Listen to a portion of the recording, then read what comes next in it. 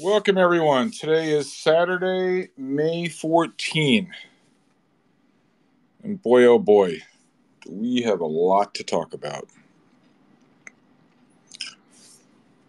So little time and so many disasters. And just when you thought you'd seen it all, the hits keep on coming. I'm not sure where to begin today.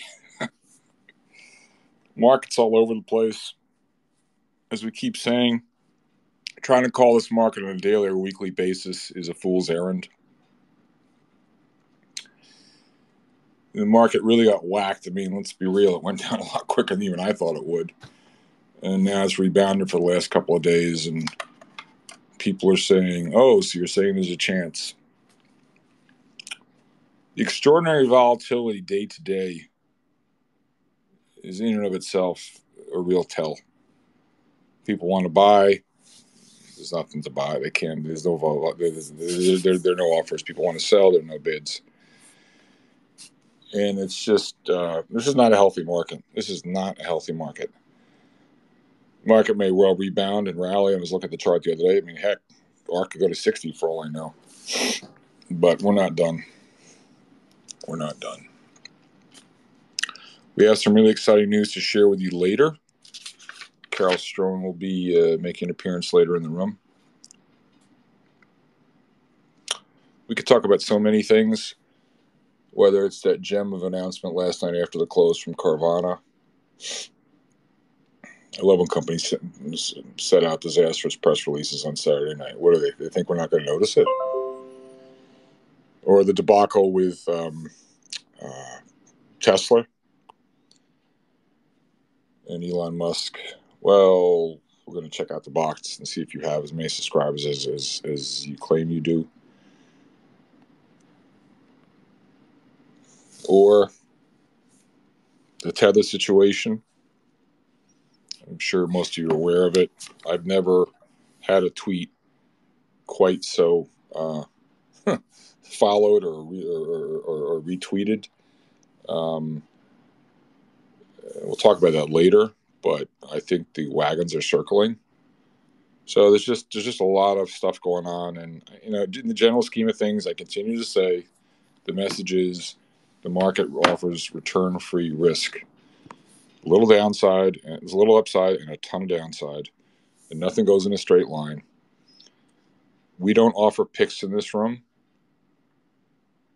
We're trying to explain markets to people and you know, how, does the world look to buy side PM and, and, and teach you how to think about these things? So I'm just sharing with you what I've learned over four decades. And I make plenty of mistakes. It's not the issue. We all make mistakes. We're not making mistakes. We're not taking enough risk. But instead, um, I'm trying to teach people, you know, how to look at markets. At least how someone who's been, you know, on the buy side um, would uh, look at markets and I think we've been pretty good with our overall calls. And I, I know we've helped a lot of people. I'm so humbled. Um, I want to cry sometimes, actually. Some of the messages I, I, get from some of you folks about how I've, you know, you saved money, you avoided disasters, or you bought energy, you shorted Cathie Wood's, whatever. It's just been great. So, with that, we have a very special room today. John Karle, um, I've sent you an invitation to speak you need to accept it uh, in order to um, uh, in order to come up on stage.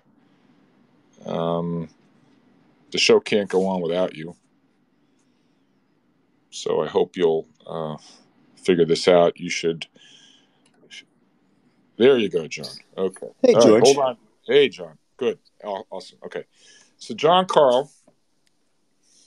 I've known John for whew, two decades. Yeah, a lot of when years.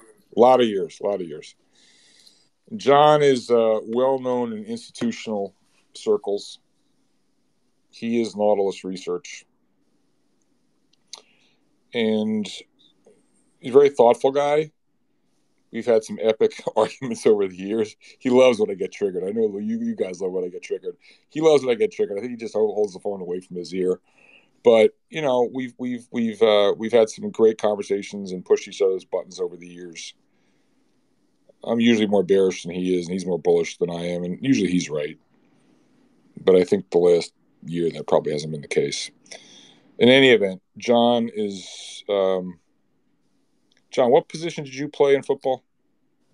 I was a lineman. I played uh, D tackle. So you were defensive tackle. It was at yeah. Harvard. It was at Harvard. Is that right? Yeah, I played at Harvard for a little bit, but uh, primarily in high school. When, what year did you play in the Harvard football team? I graduated in 93. I played uh, 90, 89, 90. What was your What was your playing weight?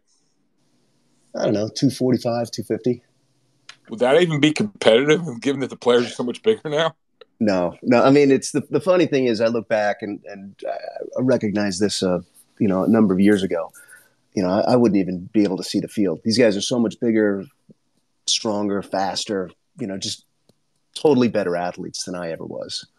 Um, but yeah, just total different level.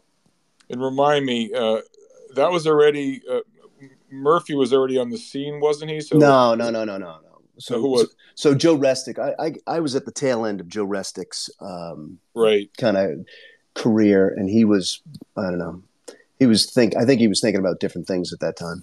Got it. Well, Restic is a legend. I mean, he had a, it was an unbelievable run. No.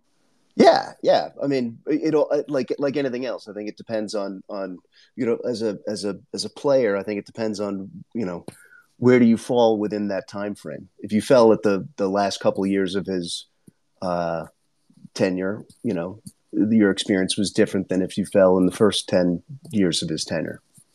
Got it. Got it. All right. So listen, um, we could probably talk sports all day because you and I love talking sports, but I think the issue before the house is uh, markets and what the hell's going on in this crazy world of ours. So, John, it might just be helpful, just briefly. I mean, I've, I've known you, like I say, a couple decades. Just explain initially, maybe just your career. Um, not a big retrospective, but just basically, how'd you start, your background, and then Nautilus, and what does Nautilus do?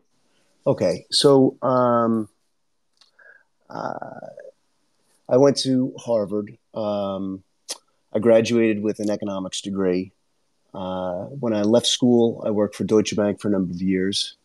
Um, I had the opportunity to work at Hellman Jordan uh, and learned a ton of things from Jerry Jordan. Uh, from there, uh, I worked with Dick Mayo and uh, Mayo Capital and then uh, started out with Nautilus Research. And what Nautilus does is Nautilus is a, a fact based analysis of historical data. And the underlying thought is that all of the information uh, is already baked into the prices. So there's very few things that are out there that one person doesn't already know and it isn't already traded on, it isn't already reflected in the data. And so we are believers that public data is a, a, a great reflection in terms of what's going on uh, in terms of different things. And so what that typically means is is that um, we employ a number of different statistical techniques to uh, pull out some of the information content that's in the data. Uh, we are uh, on some level, we are quantitative technicians. And so we will look at things like trend, and we will look at seasonality, and we will look at cycles. And we will look at, we call them analogs, but we look at patterns and pattern recognition.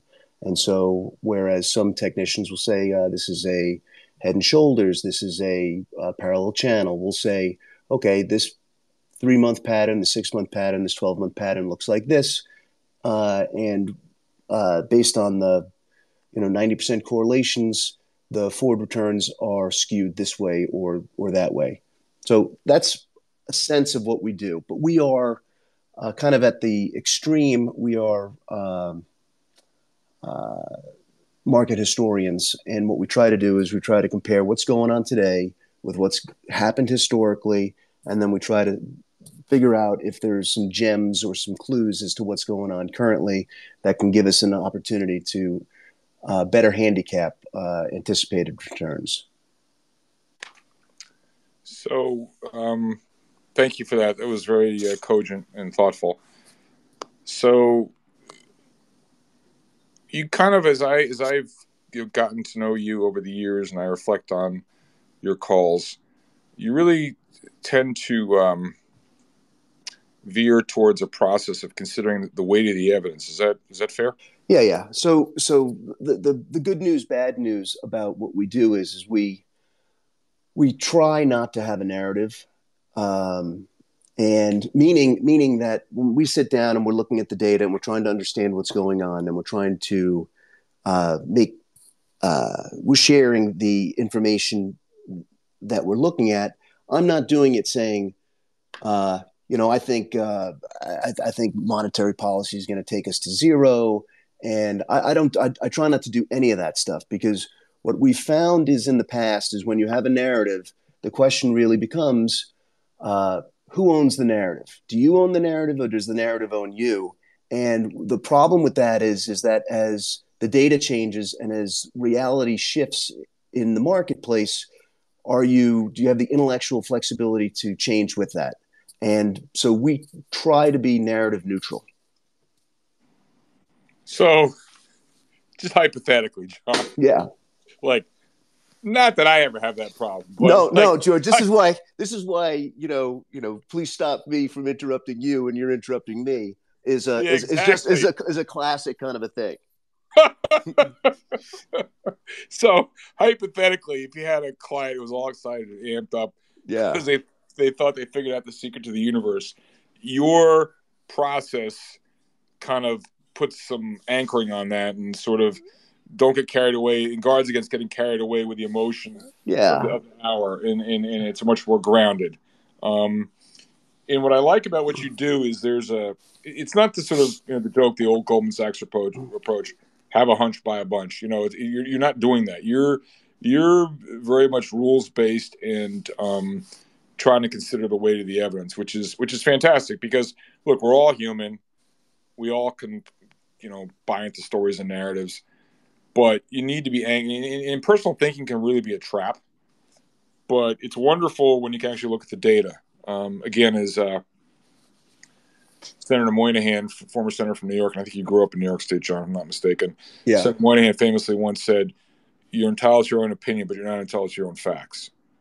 You know, George, if you want to be bearish here, that's fine, but recognize you know, the RSI is at five and the MACD's in the toilet, and we're you know 30% below the 250 day moving average. Like, okay, fine, you know.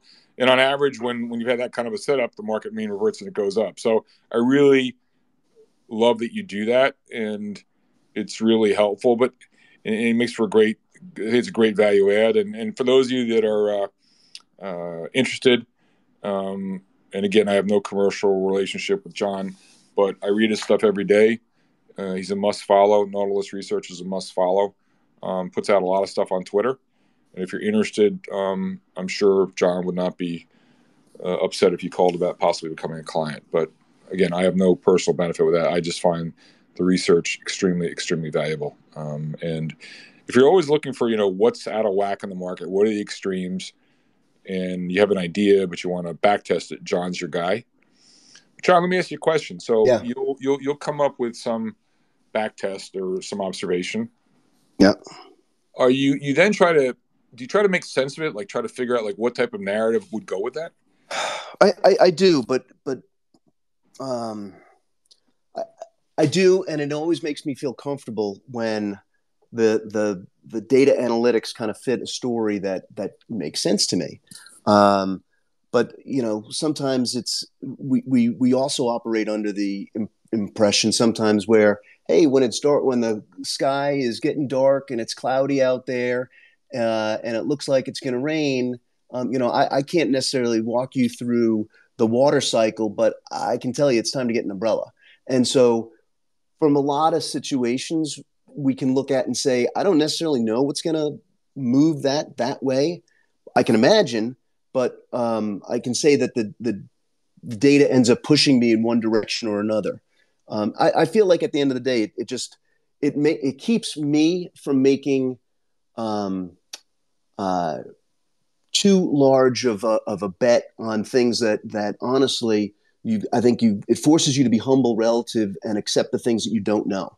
and just recognize that when you're entering into you know when you're trading and you're and you're you're risking financial assets in terms of things you and i are both sports guys and mm-hmm. comes to mind listening to you talk imagine you're watching a basketball game yeah and the player gets hot like michael jordan getting hot yeah yeah It was that game you remember the epic game it was in the 90s a playoff game i think it was against utah I'm not, I don't remember exactly. Remember that? Remember that one game where he put, I think he hit like seven three pointers in a row or something like that. And and then and on the last three pointer, he turns around, he's running down the court. He just he just looks at the camera and he shrugs like I don't know. Yeah, yeah, uh, yeah. It, it was crazy. Classic. It was totally classic. Oh, classic. Okay, yeah. okay, okay, okay.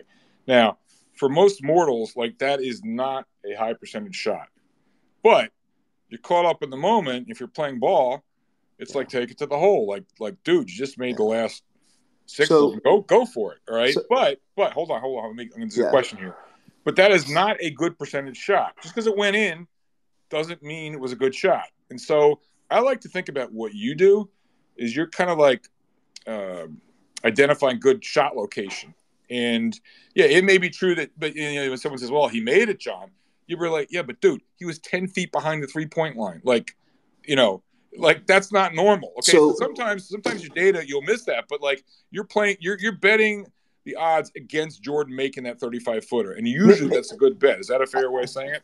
I, I think it depends, right? Because typically what we'll do is we'll look at the data and we'll be like, we're looking at these things, and we we run lots and lots of studies day in and day out, and then it's like, wow, you know, 2008 keeps coming up in all the data, and it's 11 up versus one down. And i can't shake that 2008 type of type of thing out of the data right? I can have 11 up versus one down you know six month returns of plus 20% oh except for 2008 where you're down 37% so i sit there and, and to me it's one of those things where, where where you step back and you say you know for for a mere mortal a mere mortal isn't supposed to make that shot.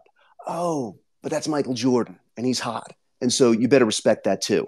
So I, I it, sometimes it's one of those things where you got to step back a little bit and say, what, what, you know, where are we? What kind of regime are we in right now? Uh, are we in a, a 2008 or 2000 type of a scenario where, you know, applying the entire data set and thinking about it uh, broadly, you'll say, well, of course, there's no risk in this market. I mean, I, I can point to 10,000 things that would say that that's that that we've done all we need to do on the downside. Um, but I, I can't shake the 2000 and 2008 out of a lot of our data.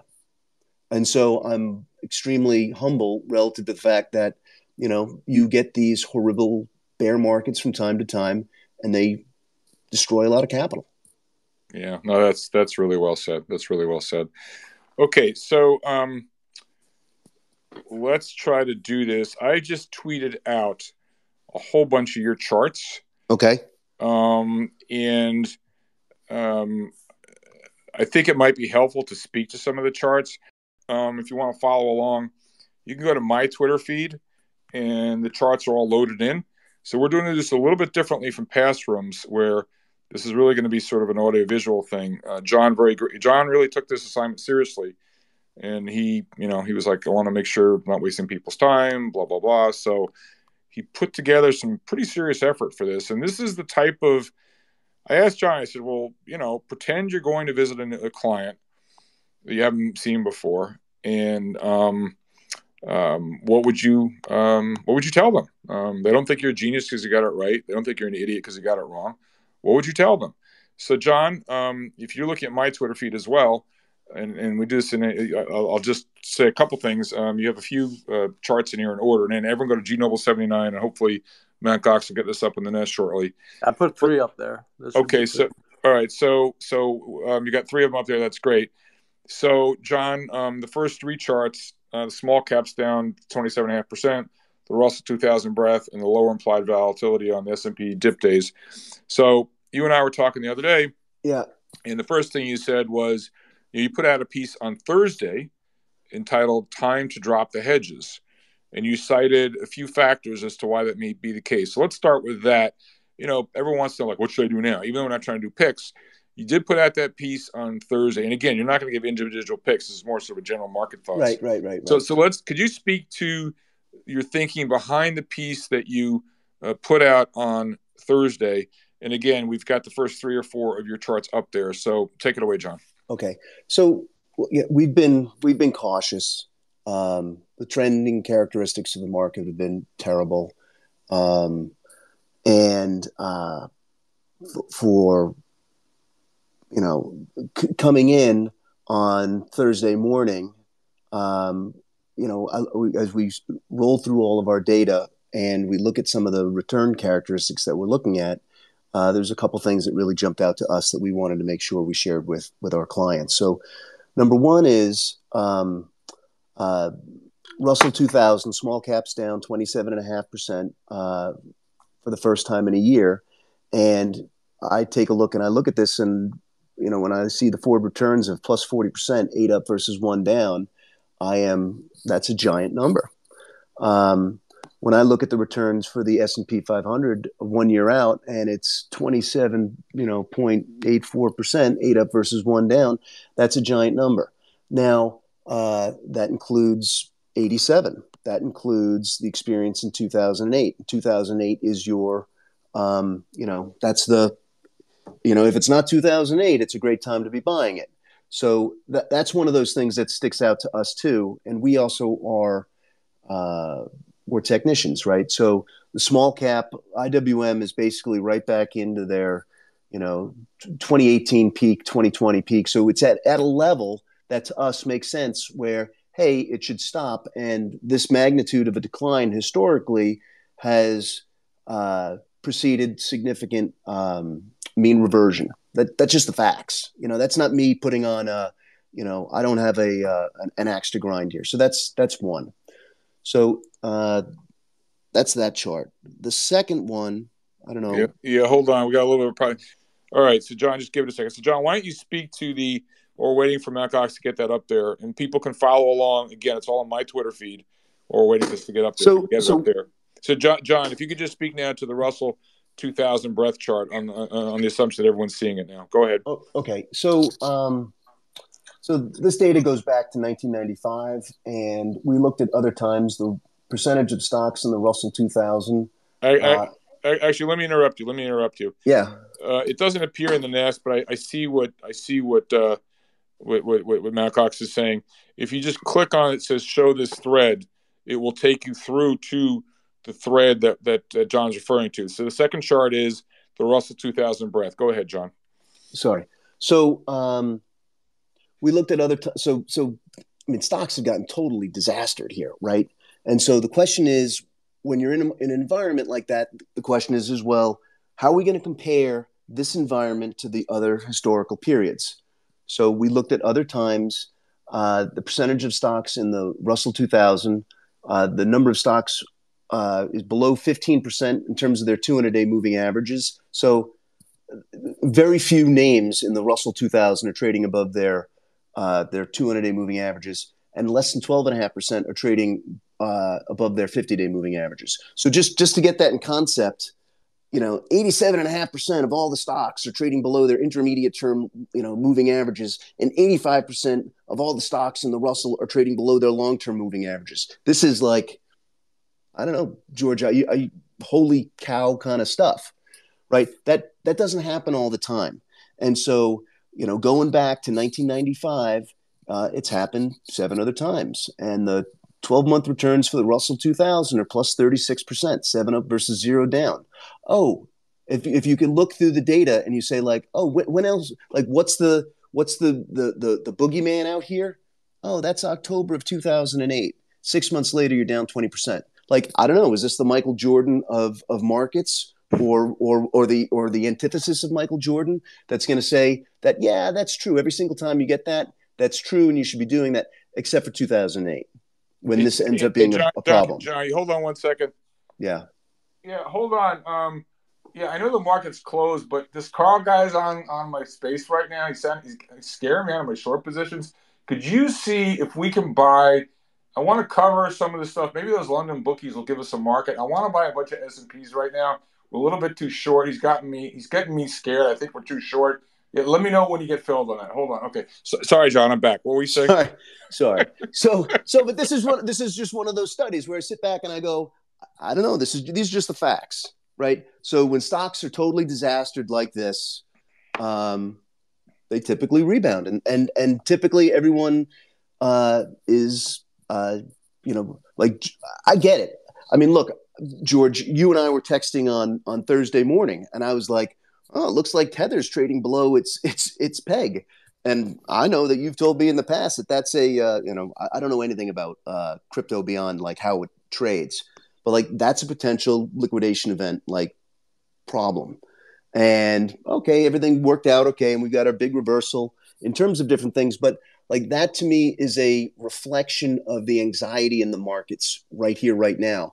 And the reflection of the anxiety in the markets as expressed through the, the devastation that we've witnessed on an individual stock perspective is is also is is in this Russell 2000 breadth analysis. And so you can be bearish, and I'm not saying that you know you can't hit that uh, three point shot from half court. I'm just saying it's not you know you shouldn't be betting on that. I, I know, or forget about it, you just bet on whatever you want, but like that's an unlikely outcome. Yes, so, yes, yes, John. You, you you're like a bookie. You're trying to play with the odds in your favor. It's sort of like you know when when the dealer's showing a six. You know, yeah, you, yeah no, okay, right. yeah, okay, exactly. Okay, so okay, so let's say okay, I heard this John Karle guy. I don't know him, but shit, look at all the numbers he's got here. He's not he's not talking smack. This is the real deal. So how are we going to know if this is the one time? This isn't 2008 where, you know, it's like what could possibly go wrong? You know, yeah. I went long because Karle told me to. Oops, yeah. wait a second. Yeah. Like, how are we going to know that this was this isn't 2008? So, um, when it comes down to, um, I, I, I look, George, you and I have had this discussion. I think we've had this discussion in the past. Is that good tactics end up saving you know bad strategy you know day in and day out. And and to me this is an environment where you should really be respecting you know levels and stops and that kind of stuff. It, it really is. And so i can't say beyond you know uh, hey you know i think this is a reasonable place to be to be you know expressing a, a positive perspective on equities. And you should probably do it, be doing that with a stop. Uh, to me that that's that's the most reasonable, rational uh, thing to be doing. Got it. That makes sense. That makes sense. All right. So, John, what's the next one you got? Lower implied volatility. What, what what's this one about? So, so this is this is an interesting. It's interesting for me, right? So, so on um, on Wednesday, Wednesday was a weird day because Wednesday, you know, the world's coming to an end. Uh, Nasdaq's down three percent. S and P's getting smoked, and implied volatility, the VIX, is down. Like WTF? That's not supposed to happen, right? No. Like, no. And, and, and, and I read I read a lot of commentary about that. So, um, what, what so but what, this is this these this is the facts, right? So so number one, it's really it's really weird. Number two is is so we looked at other times. The VIX was down a percent. Like it's not just oh it was down a little bit. It's down a whole percent. So the VIX is down a percent, and the S and P is down one and a half percent on the day. And this is the first time in three months.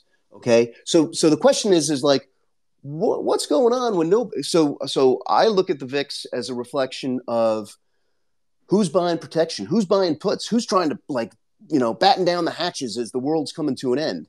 So the world's coming to an end, but but the pros they're not buying protection, they're not buying puts. So I step back and I go, huh, people smarter than me have decided that the stocks and and indices have reached a level where it doesn't make sense to buy protection anymore. And so we back tested this and so we were long we were long a ton of um, we were long a ton of, of of of implied vol, and so we we pay attention to implied vol like a lot because that's our hedge. So in, in my mind, I'd rather be betting uh, as opposed to shorting, and, and you and I can have different conversations on different things, George. But as opposed to shorting, I'd rather be playing the downside with with with volatility. You know, um, uh, th- that that's just me. I'd rather have an uh, uh, an asymmetric risk profile as opposed to a symmetric risk profile when I can manage it. So, but but to, but anyway, so so I go back and I look at this stuff and I'm like, oh, you know, six months out, the average return for the S and P is 16 percent, five up versus one down. Uh, one year out, your average return is plus 26 percent, five up versus one down. You get in, in the in terms of the time frames that you get, you get oh, there's 2001. Like that's at the end of the or towards the end of the uh, the tech wreck Uh, and then you've got oh, there's 2008 again. So so like when when I sit back and I'm I'm running this analysis, and we do it a lot, and it's like I don't know, you get 2008 popping up again. So so there's no as much as I'd like to be like, oh, you know, let's let's put it all in and let's let's do, you know, double levered, you know, pick your ETF. You know, I would pick the small caps and um and let it rip and ride. But like the problem is is that you're playing against an opponent that is extremely, you know, potentially deadly. So like you got to be a little bit careful there. Um so that's that one. Um so let's go let's go to the next one which um so okay, so you did the volatility one, and now you've got a couple of uh, charts. Oh, I think I may have put the same thing. No, you got two charts here, considering an inflection in real rates. So why is this important? What's the message from these charts?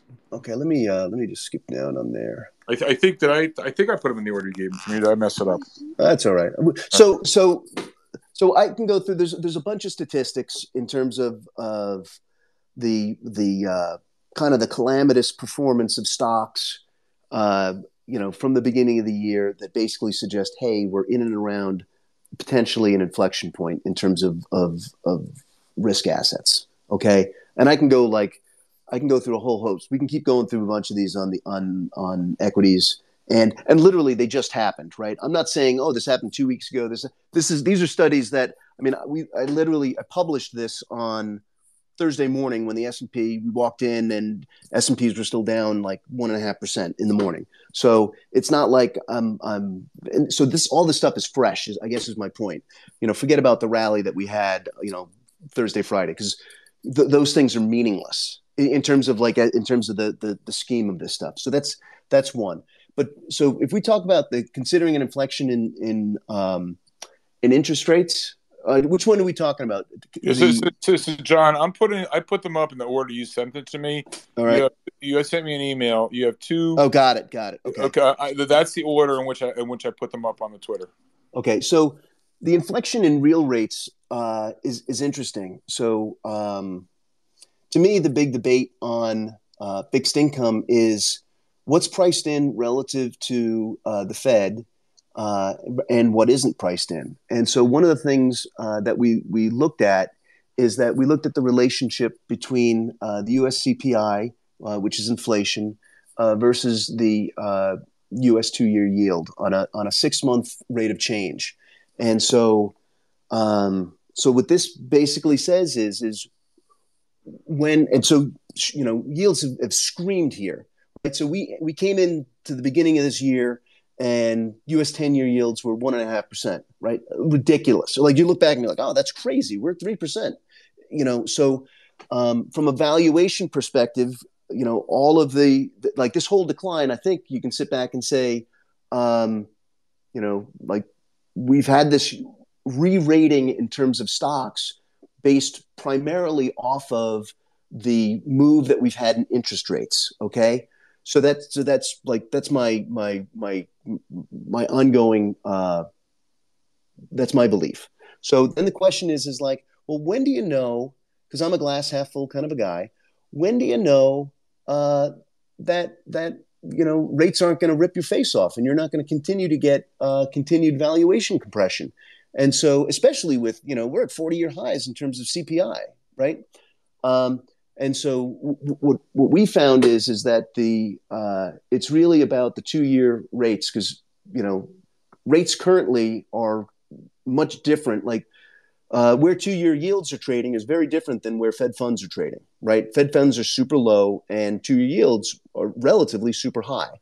And so in this uh, analysis, what we've done is is we've looked at other times when the uh, the net six month rate of change on inflation less two year yields is below one. So you're less than 100 basis points. So that's an indication that yields have uh, digested uh, the, uh, uh, you know a, a, a, an accelerated move. And what we found is that um, what we found is that typically U.S. two-year yields are lower, uh, you know, in the short term, 21 basis points, two up versus six down, and then they're lower on a one year basis, you know, 36 basis points, three up versus five down. And that typically because at the at my core i'm an equity guy. I mean we do a lot of global macro stuff and we look at lots of different things and we're data guys. But like at my core um, i look at the uh, you know 12 month return for the s&p here is plus almost 11% six up versus two down. And then oh look who's in that mix again. It's 2008 so like that to me is like unless you're if this is a 2008 type year then you should be worried. But if it's not and look 2008 only happens every once in a while but when it does happen it's it's it's a total horror show uh, then things work out okay. So the other por- the other portion of this and and george i don't know if now is the time to have this discussion is look the uh, the there's a 40 year downtrend in terms of rates that basically started with with Volcker in 1980. Yeah, so John, let's jump ahead, please, because okay, ones who's paying attention, following along, you've got a couple of real rate charts, but then beyond that, let's jump to that one. Okay, it's entitled "Everyone Says Yield Pressures Dissipate." That's the one you're starting to refer to. So let's talk about that one. Okay, so we looked at other. So this is we, we're. Um, you know we're mechanical guys right so it's like we, we looked at other times that us 30 year yields declined by 25 basis points from a one year high uh, after having made 150 basis point move up. That, that's the that's the that's the mechanics of these. You know, how do we pluck these dates out? Okay, and so what we found is is that um, number one for 30 year yields for for longer tenor yields, uh, 12 months out they're they're lower, not higher. So it's an inflection for yields. So down 36 basis points you're 50 50 in terms of, of, whether you're going to be right or wrong. So if you look down below, we look at percent, uh, uh, number of events up versus down. That's three up versus three down. Okay. So it ends up being a, um, if you look at the returns for the S&P 500, three months out, six and a half percent uh, positive return, six up versus zero down. Uh, you know, so that's a positive. So, so the point is, is that uh, when you have these types of moves in rates, that you end up having a, uh, a relief rally in uh, in stocks. Awesome. Okay, and and uh, you know we also include the annualized 21 day volatility, and you get volatility, uh, which is basically demand for protection uh, right. declines. Okay, like so so that's that's what we're seeing, and so the the so if you look at the other thing I'd like to bring out on this chart is is uh, kind of the regime that interest rates have been in since 1980. Okay, and so there's been a massive downtrend here. So, so George, I know that you. So, so the question is, and I'm not gonna, I won't put this on you, George, but like the bearish perspective is that rates were in in this period of normalization that rates aren't going to stop at three or three and a quarter. So the the the peak in U.S. ten year yields, you know, before uh, you know we went, entered into the pandemic we're like three and a, three and a quarter. So my expectation is is like, oh, okay, we're probably not going to get above that, and this forty year downtrend holds. The risk is that forty year downtrend is broken, and that. Yeah, so John, let me interrupt. And also, go ahead. Go ahead. I want to get to some of these other charts more quickly. I don't want to have death by PowerPoint. Yeah, sorry. If people, if people would jump up to the prior one. This is the question I'm going to ask you the, the chart we skipped over where it says considering inflection on real rates, the second one of those. Yeah. Where I look at, and this is going to go to market rotation within the market now. So I'm thinking now as, a, as, a, as, a, as from a sort of sector perspective. Yeah. I look at that chart of real rates, and that's on the roof. I mean, you got it up at six percent or whatever it is now. Yeah, yeah. Now it's a level from which it's tended to decline in the past. But look at the trend. So let's assume you're right, okay, yeah. and let's say yield pressures dissipate and let's say yields come off is kind of what I would read from this. Yeah. What would that imply to you? Let's say it's right. I'm not saying it is right, but if that is right, what would that look considering intermarket relationships? What would that imply to you about sector rotation and factors within the market? In other words, you know, we've had this leadership of um, you know inflation beneficiaries and the long duration stuff. I know you've been a long time fan of housing stocks. Yeah, yeah. Some of the high PE stuff. Do you think if this plays out the way you're guessing it will, do you think things like housing stocks and similar interest sensitive parts of the market will reassert themselves?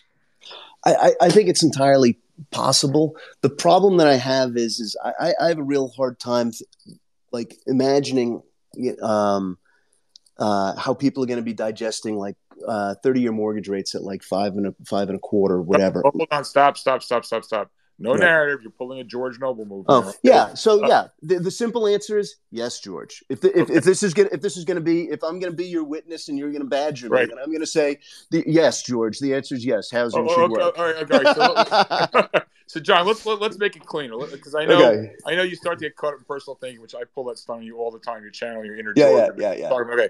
So let's take a sector where it's not so obvious. So like let's take a high PE growth sector like software, all right, where yeah. there's a huge duration component.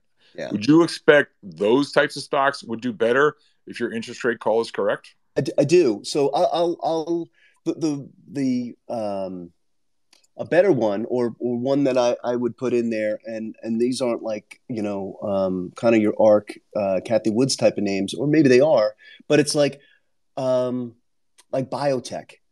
So, so these are, uh, loss making firms that are betting on innovation and they've got future cash flows that are 15 years out and um, they've been total you, you know you'll always accuse me of being a dumpster diver but like you take a look at like the ibb and it's it's trading below its 2020 low. It's trading below its march 2020 low and i look at that and i go okay you know if i'm going to connect my little dots and i'm going to say that you know if perhaps uh, interest rates are inflecting, and that and, and I know that um, uh, there's been total desolation in the market, and I know that uh, you know all of these uh, biotechs have been totally disastered.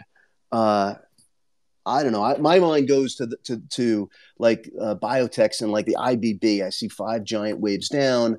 I see a parallel channel where it ends up connecting. And honestly, I feel like if you can be buying stocks below, you know, where they were trading in, in March of 2020, that's that's probably not a bad entry point. John, John, that is so insightful, and I have to say, what I really like about um, what you're saying, it's not exactly what you're saying, but the benefit of this room, we have so many smart people coming in here. It's unbelievable. Guys like yourself and Michael Kantrowitz and Michael Belkin and Tony Greer and Tommy Thornton. This the list goes on. It's endless. We've done about know, 30 of these spaces. It, what really resonates with me, and I think the power of this room, this is kind of, you know, this is when you can put the pieces together. It's so like you're you're looking at the charts. It's trade what you see, not what you think. Check your ego and your narrative by the door. Yeah. But Michael Kantrowitz, who's a friend of this room, and hopefully he'll, he'll come in here before too long. He's been talking about we're going to go from. He's a strategist now. He's not a he's not a back testing you know uh, quant chartist like you he, his narrative has been he thinks we're looking at a two stage bear market. He's actually bearish in the market, but more importantly, he thinks we're coming up upon a time of decelerating growth, which is going to lead to margin pressures and falling earnings. More mm-hmm. important about that, within the market, the rotation, he has said that from here, the things he'd want to be underweight or short, it's less the long duration Cathie Wood type stuff and maybe some of the more economically sensitive type stuff. So, from a strategic perspective, that really dovetails very nicely what your quantitative work uh, has come up with, and I, I, just I just find that fascinating. I, I, really do. So, I really want to thank you for that. That's just that's just a brilliant, brilliant, brilliant observation. So, John, um, I, I mean, school's in session. I don't want death by PowerPoint. Yeah, yeah, that's fine. Hold, hold on, hold. On. What I'd like to do, yeah, let's hold the crypto. Um, comments for later. I'm sure they'll come up. But in the remaining charts that you have, if we just quickly breeze through them, I mean, I'll, I'll just, you know, I'll, I'll make it easy. Uh, the next chart, you say early indications of value in short duration U.S. corporate bonds. So you're kind of warming up to short term bonds right now. Is, is, that is that correct? Yeah. Okay. Yeah. Right. I, I, I, this is this is just to say, you know, um, as opposed to you know Tina, there are some alternatives out yeah, there where where, exactly, where, exactly. where, where you can get a reasonable return yep. for taking a reasonable yep. amount of risk. Yeah, and, and, you probably know, and I used my line on you the other day. Tina is dead. Tina is dead. Tina ain't coming back. I don't know what we're gonna get, but it ain't gonna be. T- Tina has been retired permanently, and and, and the number's not gonna be hoisted up to the rafters of the Boston Garden. No, Tina is dead. Tina was a bad idea. Tina was like greatest hits Peter Frampton one and done. That's over. Okay, let's go to the next one. SPX wave count and key levels. don't tell me you're one of these Elliott Wave guys. What the hell is this? You got you got your you got your crayon, your ruler out, crayons and ruler out, and you can spell Fibonacci. So now you're doing this wave count crap on me. I'm teasing you, dude. What is yeah. how does this wave count chart speak to? Explain what this is. Okay, so so we approach things kind of with an open mind, and whenever you're doing a so Nautilus part of part of Nautilus is is you know the whole Fibonacci um, uh, geometric growth and repeated cycles, and so we we look for patterns and we look for uh, relationships and we're looking for symmetry. Okay, and so when I look at um, when I look at at what, what we've done so far, it, it it it and this is this is honestly this is why we backtest all this stuff, right? Because you know, it, it's like that scene from uh, from Airplane. Oh, what do you make out of this? I can make a hat. I can make it this. I can make it like I, I look at this and like this is the this is the um, it's if I'm just going to trade the numbers, I'm going to say I'm going to get long, I'm going to get leverage, and I'm going to use a stop. If I'm if I'm going to layer on um, uh, some some, I, I think some critical thinking here is to say, hey, you know, I'm open to the possibility that this uh, we could have another leg down. I don't know if this is going to be a um, an ABC. That's all we've done, and now we're off to the races, and we're gonna we're gonna make a new high, right? Because the the numbers in in the in the in the stuff that I just showed and walked through says, George, we're gonna make a new high, right? Like uh-huh. you got to. My point is, is like if you look at if you look at the, the, the security, hold on, security Will you George, get this guy out of here? He's calling for a new high. We can't have. No, no, no, no. I'm saying, I'm saying, like you gotta, you gotta, you gotta be, you gotta. But like, if if those studies are true, you have to be open to the possibility of a new high. Right. Okay. That's that's that's all I'm saying. And I don't know if I am right. So maybe I'm not as intellectually flexible as that. But I look at this and I say, well, how am I going to know on the S and P, right? W- whether w- you know, you know, whether this is for real or this is just Got it. you know you know like oh this is a, a, a, local low and it's nothing right All so right. in our mind this 4165 on the s&p 500 is going to be the question where if this is going to be it's three waves down then that's all then and you get above 4165 and you stay above 4165 then you say okay that's a primary low and off we go if we rally to 4165 and then we decline and, and we don't get above there and we can't sustain any strength above there, then you say, uh oh, you know, maybe this is 2008. Got so it. that's the that's the reason why I put we put this stuff in there. All right. I want to get to these really quickly.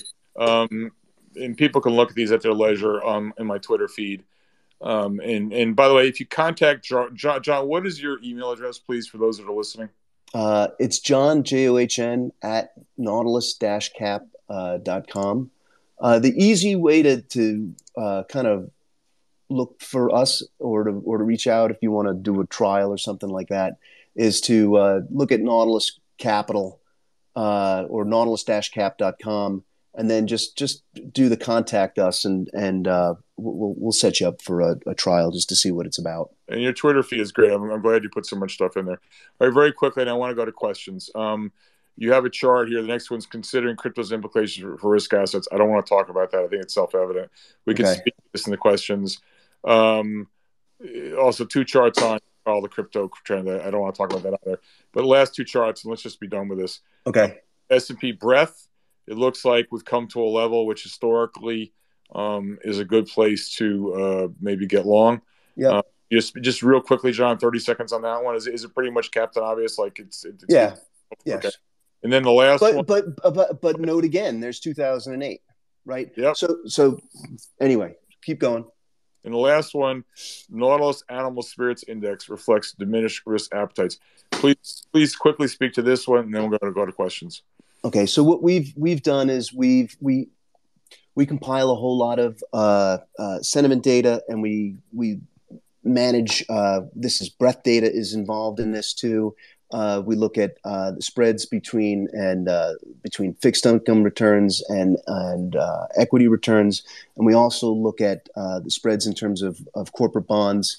And we've we've looked at this, and we think that this is this is our proprietary uh, index that has helped us historically identify times where risk is relatively diminished. Uh, and the last time that our animal spirits index got this low uh, was back in, in March of 2020.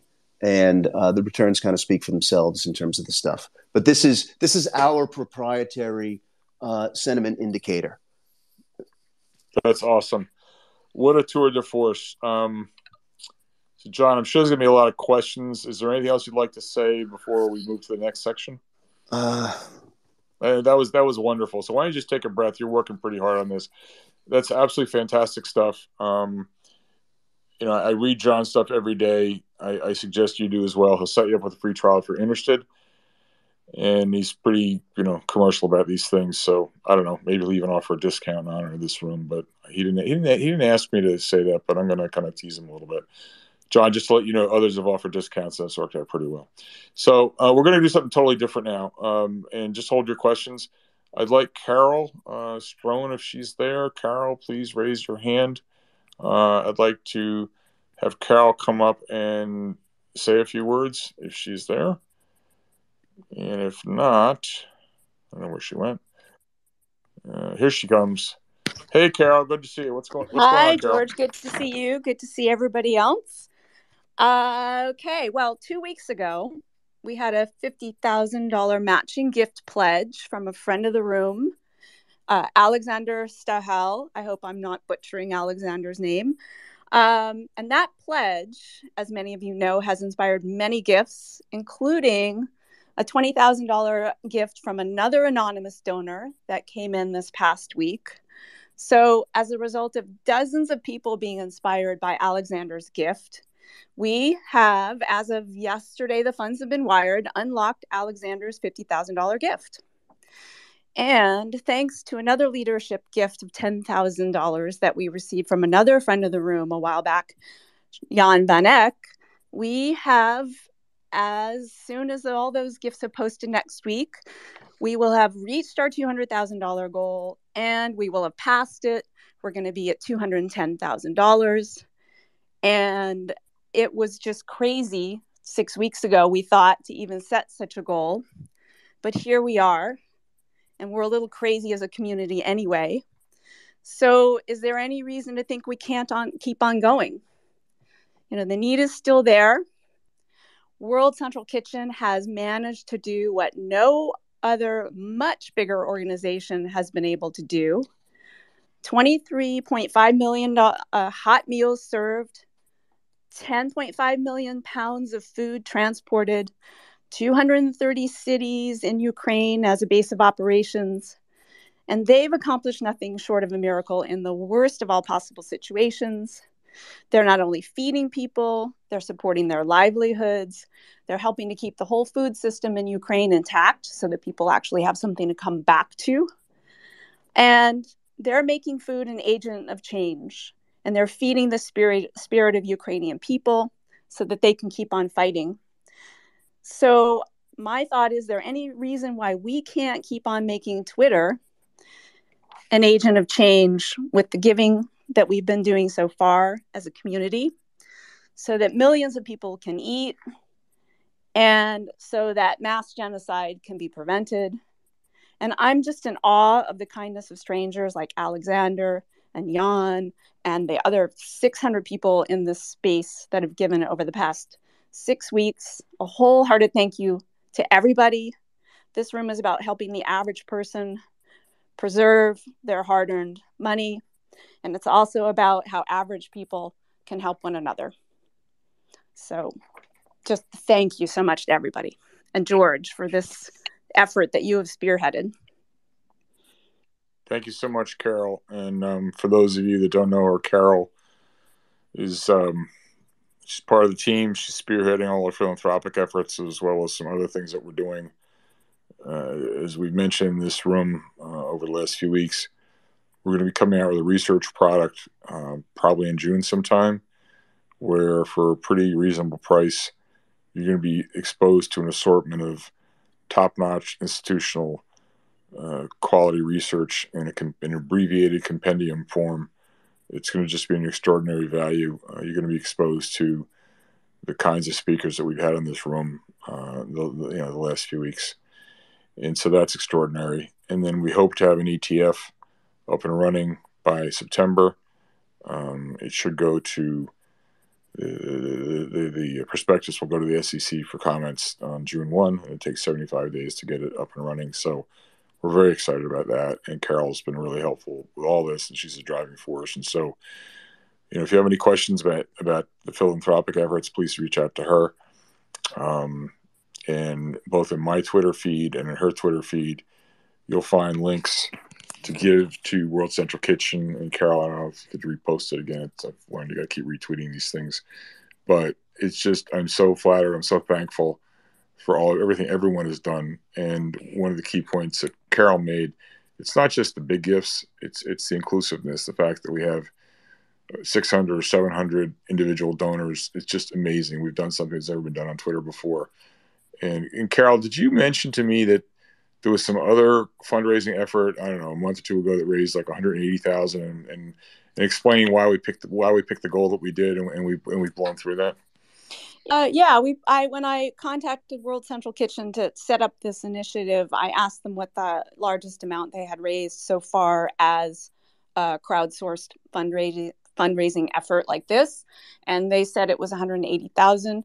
Um, I'm hoping that we have definitely beat that record with our 200,000. That was the goal, and um, we will just see see where we can take this. It's just extraordinary the power of this group. It is. It's community, and we're helping each other so many ways. It's community. We're learning together. We're making the world a better place together. People like John Karle come in this room, you know, no personal gain. I mean, maybe he'll get some business out of it, but that's not he comes in here. He comes in here because he wants to teach people. And I told him he'd enjoy himself. Um, he had to take my word for it. This is going to be enjoyable. So, to that end, let's not be too harsh on him. Let's go to questions, which is always the best part of this these rooms. So, I'd like to start uh, with uh, KFAB first, and then Baseman, uh, and then after Baseman, we will go to 4E93. So, KFAB, good to see you, my friend. What's up? Hey, George. Thanks. And uh, congratulations to you and Carol um, for what Carol just spoke about. Um, I have a two pronged question. They're, they're not connected. So, for, for John, um, it seems to me that the elephant in the room analytically between all of your back testing is whether or not we're going to enter a recession.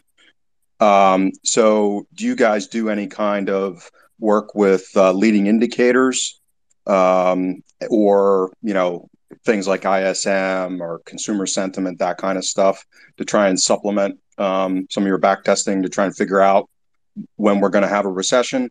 And then the, the other question I had is how do you think about the um, the issue with back testing relative to known universe, meaning that your looks like a lot of your stuff goes back to the early 90s. And as we've seen with this 40 year uh, uh, type of stuff with inflation, you know, obviously we're all limited with back testing to the data that we have at our uh, disposal. So, um, do you look at other countries with inflation problems in the past, or how do you think about that from kind of an ex ante perspective, as well as from a back testing, knowing that that's a limitation?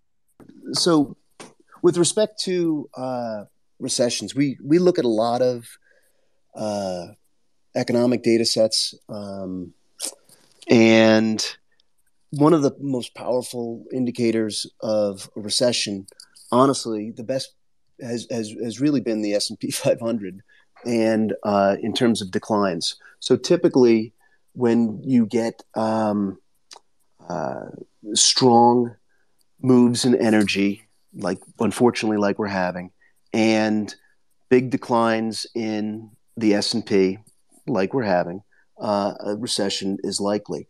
So, but that being said, um, we're trying to trade uh, assets. The I, at the end of the day, I think that asset prices are anticipating a slowdown in economic growth.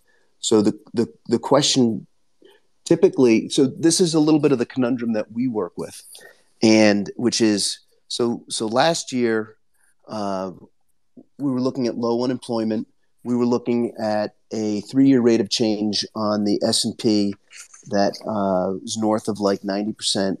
And when we look at our you know, data sets, typically what we'll do is we'll go back to the late 1800s, early 1900s on the S and P. We kind of uh, uh, uh, you know Frankenstein some data in terms of putting it together, so we've got a longer term uh, data set. But the uh, the problem basically is is that when y- your returns are inversely correlated with, say, um, employment. So when when unemployment is really really low, is not typically a time where you're going to have outsized equity returns. And so, uh, like we looked at one of the studies that we looked at, which is cautionary, is we looked at other times when you've got uh, GDP growth, is, which is negative, and very high inflation and you get stagflation and the returns on that on a two year three year basis are flat and kind of punk. So uh, to answer your your the, the first question is we, we, look at a lot of different things um, the, the second answer to that the, the primary answer to that question is is it's been my experience that one of the best indicators honestly has as a predictor has been uh, equity returns so so that's kind of two, even though that's perhaps a little bit circular. And then the um, the second question uh, is is I think a really important question with respect to kind of what we do, which is um, over what what's the appropriate time frame to to run your analysis of your data, because um, you know if you take a ten year time frame, you're taking on all the biases associated with that and all the regimes that are consistent within that uh, time frame. And I'm aware of that. I find it's very difficult to replicate the quality of data that we have kind of internationally. Um, so uh, we kind of work with what we have uh, in terms of different things, and we acknowledge the fact that you know we're we're pretty transparent. So so it's our clients are institutional uh, investment managers and analysts, and our goal is to help people make more uh, informed uh, risk management decisions. And so we're very, you know, this is exactly how we do it. This is exactly the time frame, and what ends up happening for, uh, but as being an analyst, choosing the time frame that you you look at is a subj- is a is a part of the subjective piece of it. I can't pull myself out of that. Uh, so there's two issues. Number one, I can't pull myself out of it because I, I, I do have to make a decision in terms of like, is the last 10 years relevant to what we're talking about, or should I be extending that to the last 40 years? Can I get all the data in the last 40 years? The answer is no for a lot of these different indices and stuff like that. So, um, so like for example, you know, our Nautilus Animal Spirits uh, uh, Index doesn't include anything in crypto because crypto just doesn't hasn't existed that long.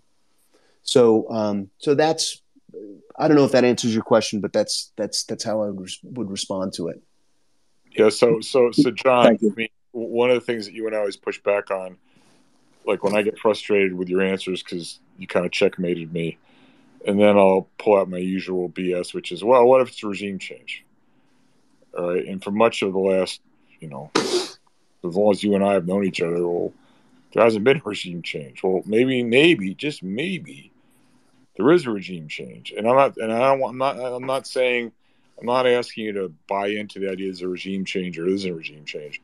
But if I were to say to you, staying with the football analogy, where's the seam in the zone defense? Like, how are you most likely to be wrong?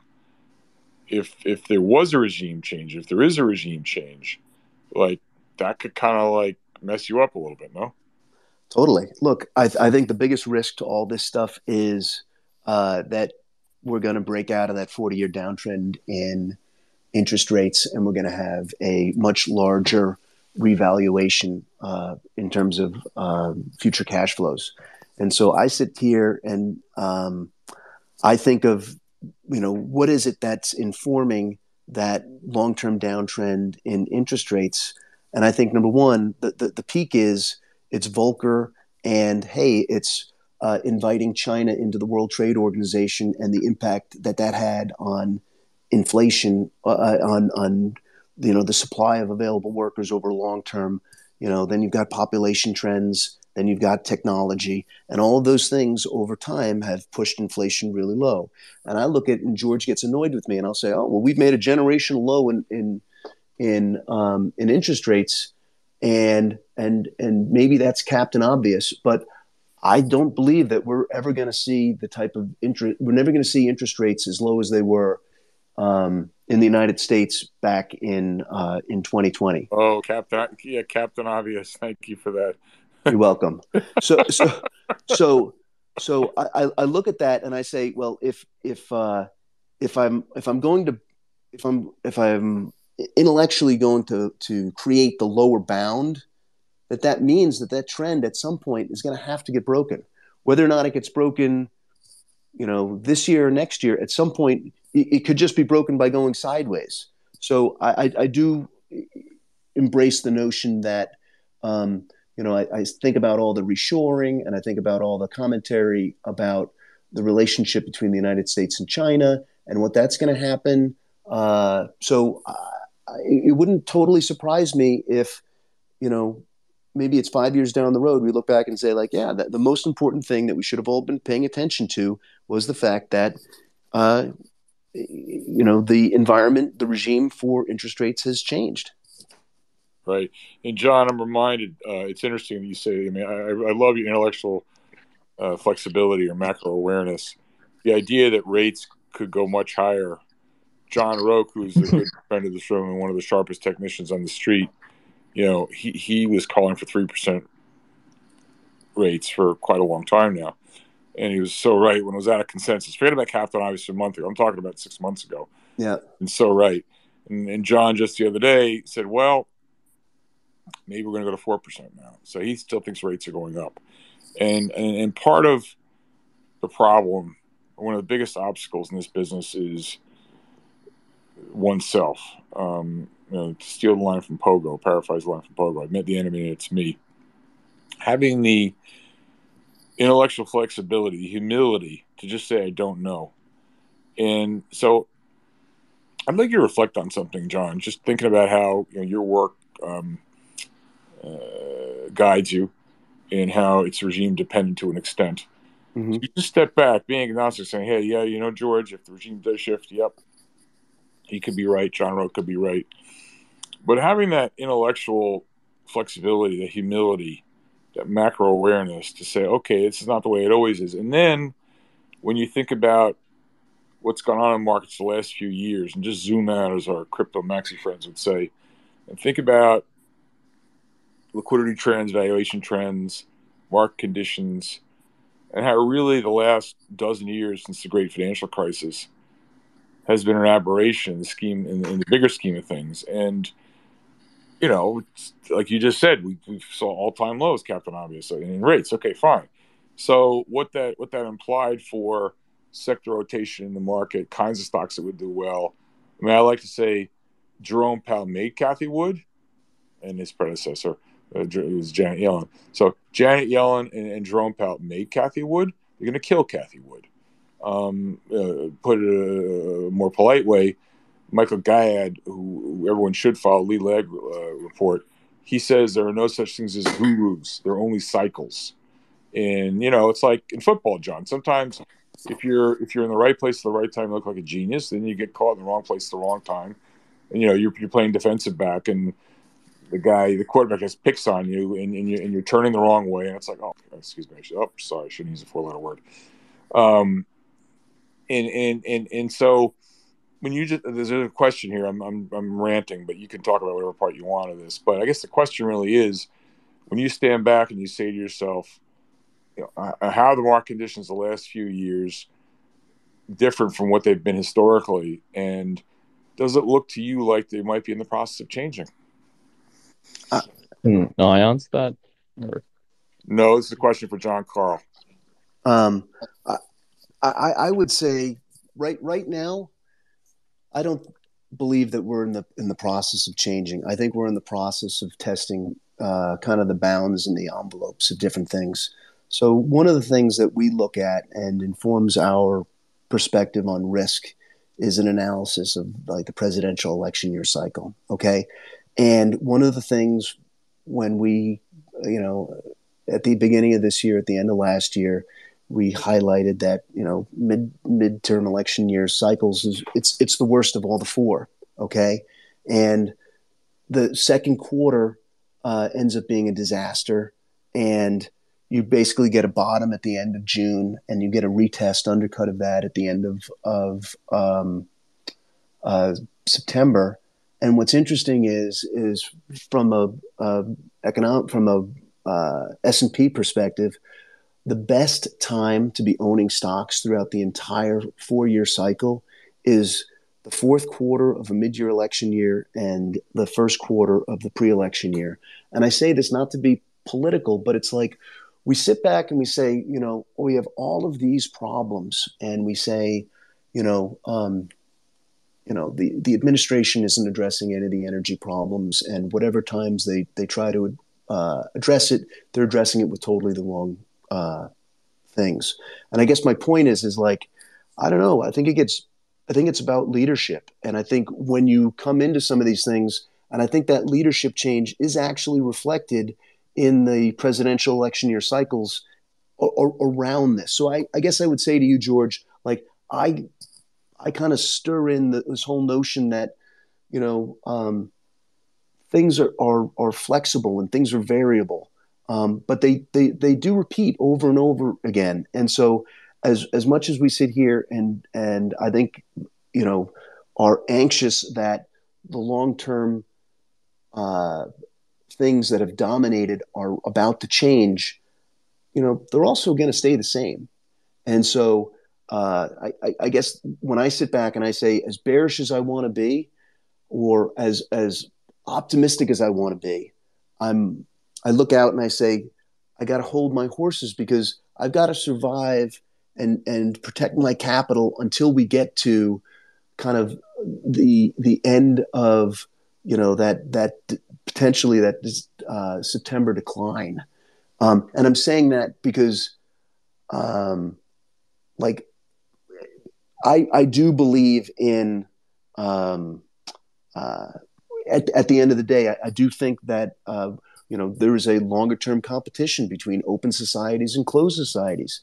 And uh, th- that uh, dynamic uh, uh, recharge that happens because of elections and because of the free markets and stuff like that. And so um, I, I, don't know. I, I, I think that that that's a positive.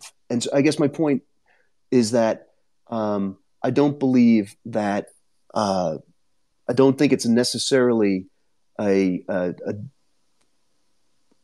a done deal that that 40 year downtrend has to be broken and broken horrifically. Yeah, yeah, John. Yeah, John. No one's saying it's a done deal, and I'm not saying either. But you, but you could imagine you're you're macro aware enough, you're intellectually flexible enough.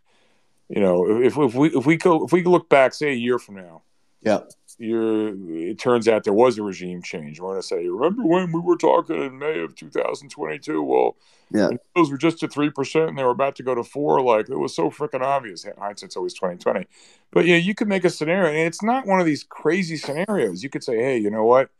Um, as you right started to point out, you know, globalization's maybe peaked, and maybe it's kind of running in reverse, and that's been a big source of disinflation. So the dis- that disinflationary impulse goes away.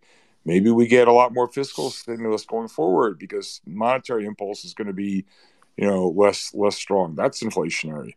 Maybe we're running out of uh, excess production capacity for energy, and the oil price is going up for good reason. And and and and and, and you know, yeah, we're at 105 right now WTI, but that's just on the way to much higher prices maybe these food things, you know, the, the, Fed can't drill for more oil, the Fed can't food can't grow more grain. I mean, you have all these building blocks in place where plausibly, quite plausibly, you could make a case for sustainably higher interest rates. And so when you so I know you don't want to you don't want to jump the shark, but how do you weigh your data versus and you may say, well, George, that's George being George, your narrative, okay? But certainly the more re- like like John, if you see a tsunami coming to soon to a theater near you, and okay, tsunamis are rare, I get it, all right, but it'd be like, wait a second, the weather forecast says it's supposed to be nice, but hold on a second, what's that fifty foot wall of water heading towards me? Okay, so now you look at what's happening, as I said, to food and, and, and energy and globalization and all this other stuff, you'd be like, hmm, wait a second. Maybe there is something really going on here, and maybe the market's speaking to me. At what point, in other words, at what point, there's a question here. Do you cry uncle and say, you know what? That was then, now is now, or do you wait for price to confirm? I, I, I wait for price to confirm. Look, I, I think at the end of the day, and and you may just call me, um, you know, like a lowbrow, knuckle dragging, you know, football player or whatever like that. But I think I think you have to wait for your trends to confirm. I mean, I, I really do. As much as I'm I'm sitting here saying, hey, I think we're at an inflection point in terms of risk assets. You know, the trend is lower, and you're not going to know. So f- for for us, the simple like, oh, we're okay is, you know, we've got um, you know that short term kind of 4165 but like the s&p 500's got to be trading comfortably above its one year moving average just to confirm that long term trend like th- that that to me is going to be like that's that's when you should be breathing a sigh of relief and you say okay we've digested some of this stuff. Right now we're in a, in a massive digestion phase. So I, I that would be my you know um, simple metric of saying when are we okay? As long as we're above the one year moving average in the s&p 500 we're okay and you should trust that trend. Right. when you're when you're below it you should say you know what i i can afford not to play right so john that makes a lot of sense so just given that you're kind of glass half full and glass half empty can you just go on the wayback machine looking back over the last year um you know you were probably bullish when it was right to be bullish, and I was probably prematurely bearish, like no yeah. surprise there. But did you get bearish at the right time, or did you kind of overstay your welcome at the party? So, so at the end of December of last year, we came out with a, you know, it's time to hedge. It's, it's, um, we weren't, we, uh, we were not, hey, we're going to have, a, a, you know, a double digit sustainable decline in terms of risk assets. But like our work on the presidential cycle said that this year is going to be a totally punk year. Our analysis in terms of the three-year rate of change on the S&P 500 being uh, totally unsustainable, you know, it was absolutely on the mark. So um, we pulled in our, our horns quite a bit at you know in, in December. So you know, like we keep we keep score in terms of of of our stuff. So we we run something that we call an idea hopper, and it's like, oh, I think this looks attractive. These are my bullet points as to why, and you know, we we talk in terms of risk units. So we one risk unit, two risk units, three risk units. So if we put on one risk unit, basically we get the a third of the return of whatever the instrument is. Two risk units, we get two thirds. One risk unit, uh, three risk units, we get the full. So, you know, and it's it's not a it's not a real um, you know, did you buy it here? Did you sell it here? All that kind of like we, we keep track of all that stuff. And so, you know, despite the fact that the market's gotten totally hammered and we've been over hedged, you know, we're we're up on the year relative to our total ideas. So we're we're positive. So we're not and, I'm saying that as a you know, I really feel more comfortable being bullish as opposed to bearish. I find that I don't make a lot of money being bearish. That's just that's just that's just me. So um, I don't know. Yeah. Does that answer? Does that answer your question? Yeah, it does. And I'm I'm I'm reliably informed that it's better to go through life being an optimist. So there. Um, all right, let's go to uh, let's go to Crypto Bull. Hey, Crypto Bull, what's up? Yes. Hey, George. Thank you for letting me speaking. I'm quite good, even though in crypto is not that fine. But I have a question for uh, John. Yeah. Um, we haven't talked that much about the big elephant in the room, which mm-hmm. is inflation, and uh, you know I've we have so many data regarding inflation over the last months. Uh, until two years ago, no nobody was talking, and now we are analyzing if it's, if it's sticky, if it's not sticky, if it's services, goods, whatever. Mm-hmm. So I have a theory, obviously, like everyone, but. Uh, are you analyzing some data regarding inflation? What do you think uh, we're gonna be at the end of the year because this has a big implication for the politics of central banks and uh, i don't know do you like do some study regarding demand driven inflation versus supply driven inflation And uh, yeah, that's my first question. And then I would have another one.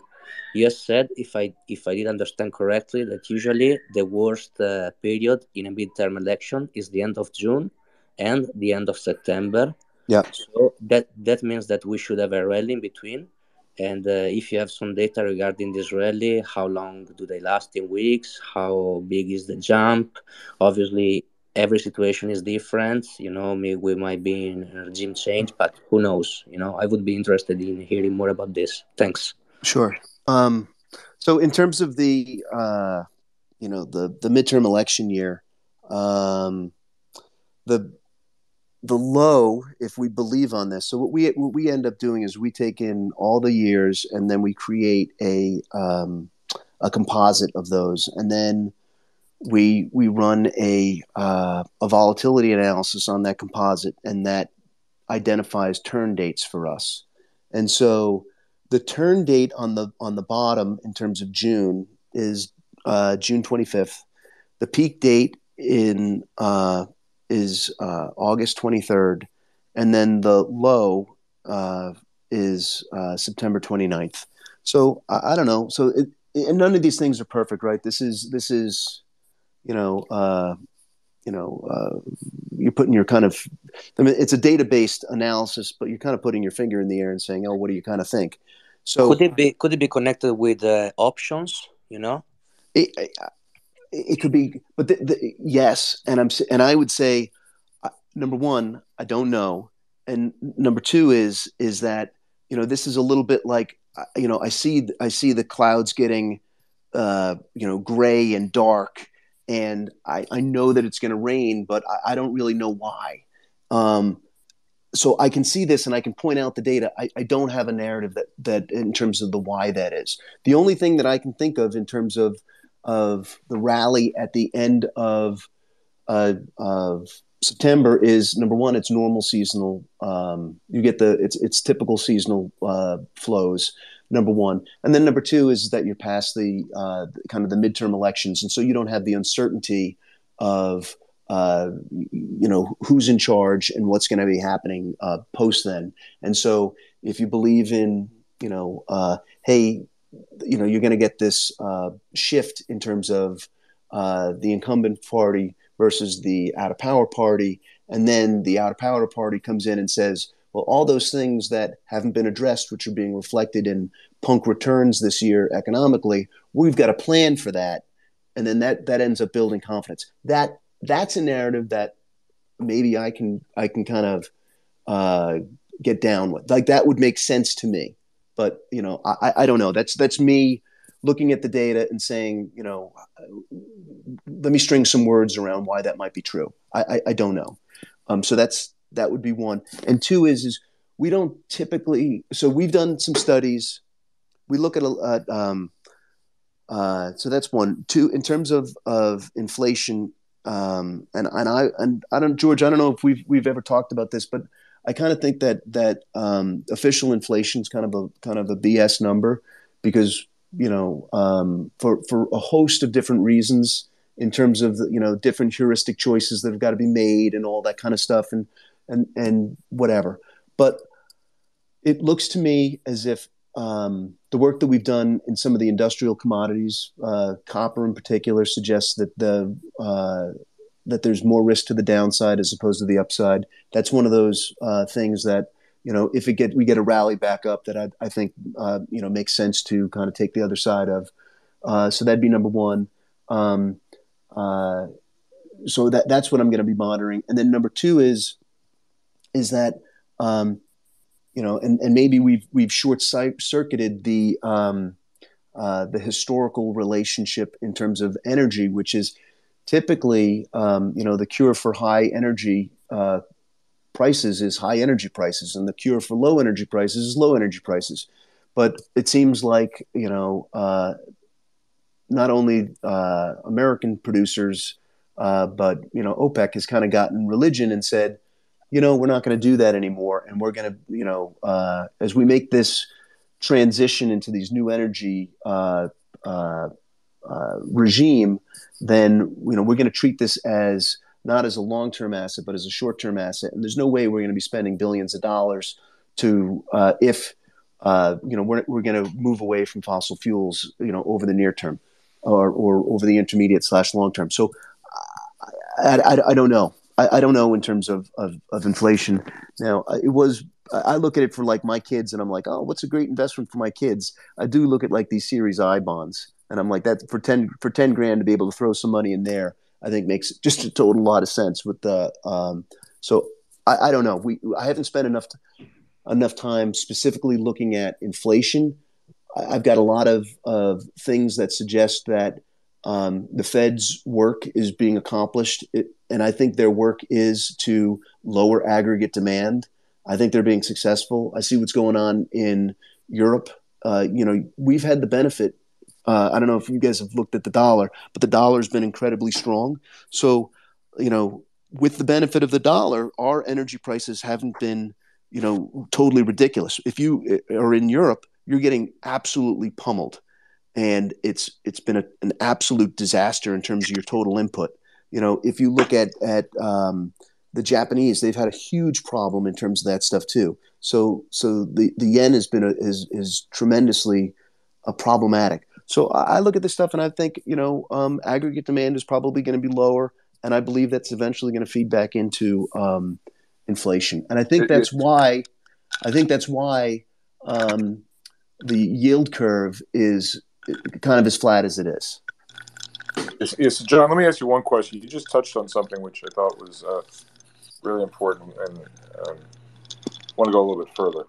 Okay. So the yen is weakened dramatically. Yeah. The Chinese yuan and a lot of the Asian currencies have also sold off. And to me, that's very interesting and meaningful. And I see a strong dollar and a weak.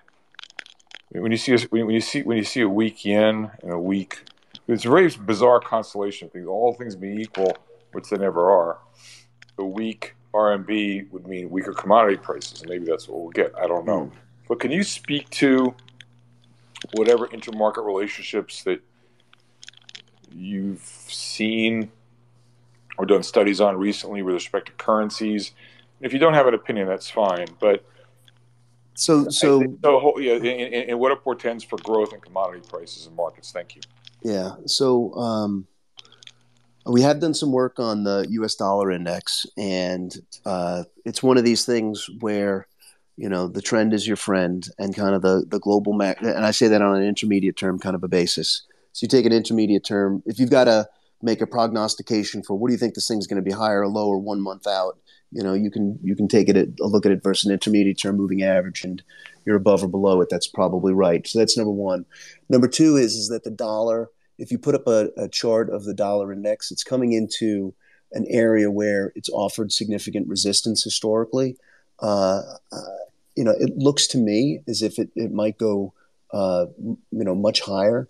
And I think the, the question when we talk about like the, at least for the dollar index, um, and I'm not, I, I, am not really the, the currency guy within our team. George, I know you give me credit for being the entire brains of Nautilus. That's, that's, that's not accurate.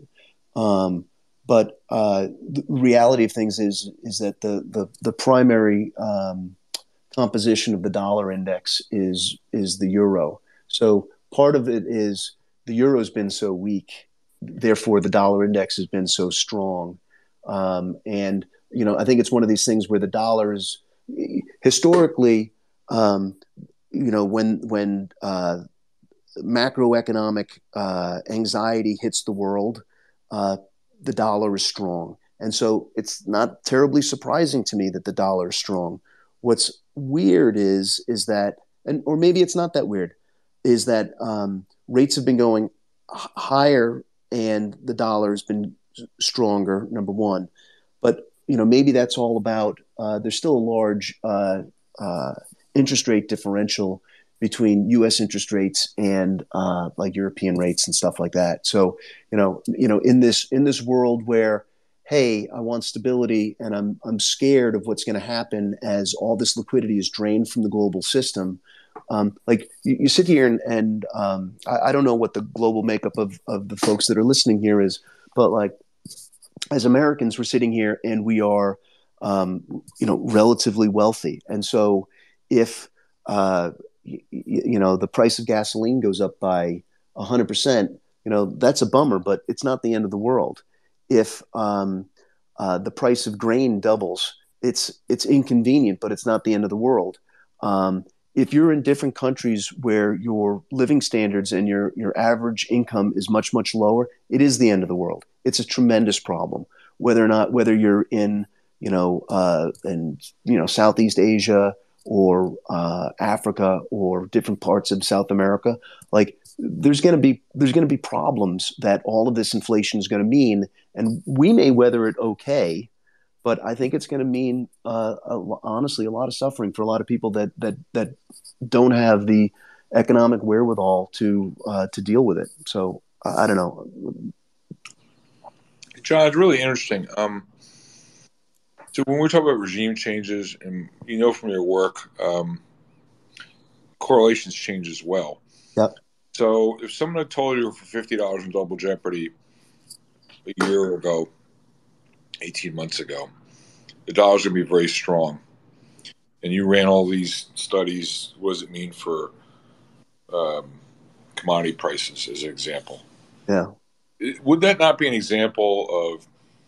I don't want to use regime as maybe too strong a word, but correlations flipping where sometimes you know relationships aren't always static. Sometimes they're dynamic. Now I totally get what you're saying. Well, George, I can't anticipate. I don't want to anticipate that, but wouldn't have those back tested studies back then, if you said, okay, the dollar's going to do this, therefore commodity prices are going to do that, wouldn't that have one led one to the wrong conclusion?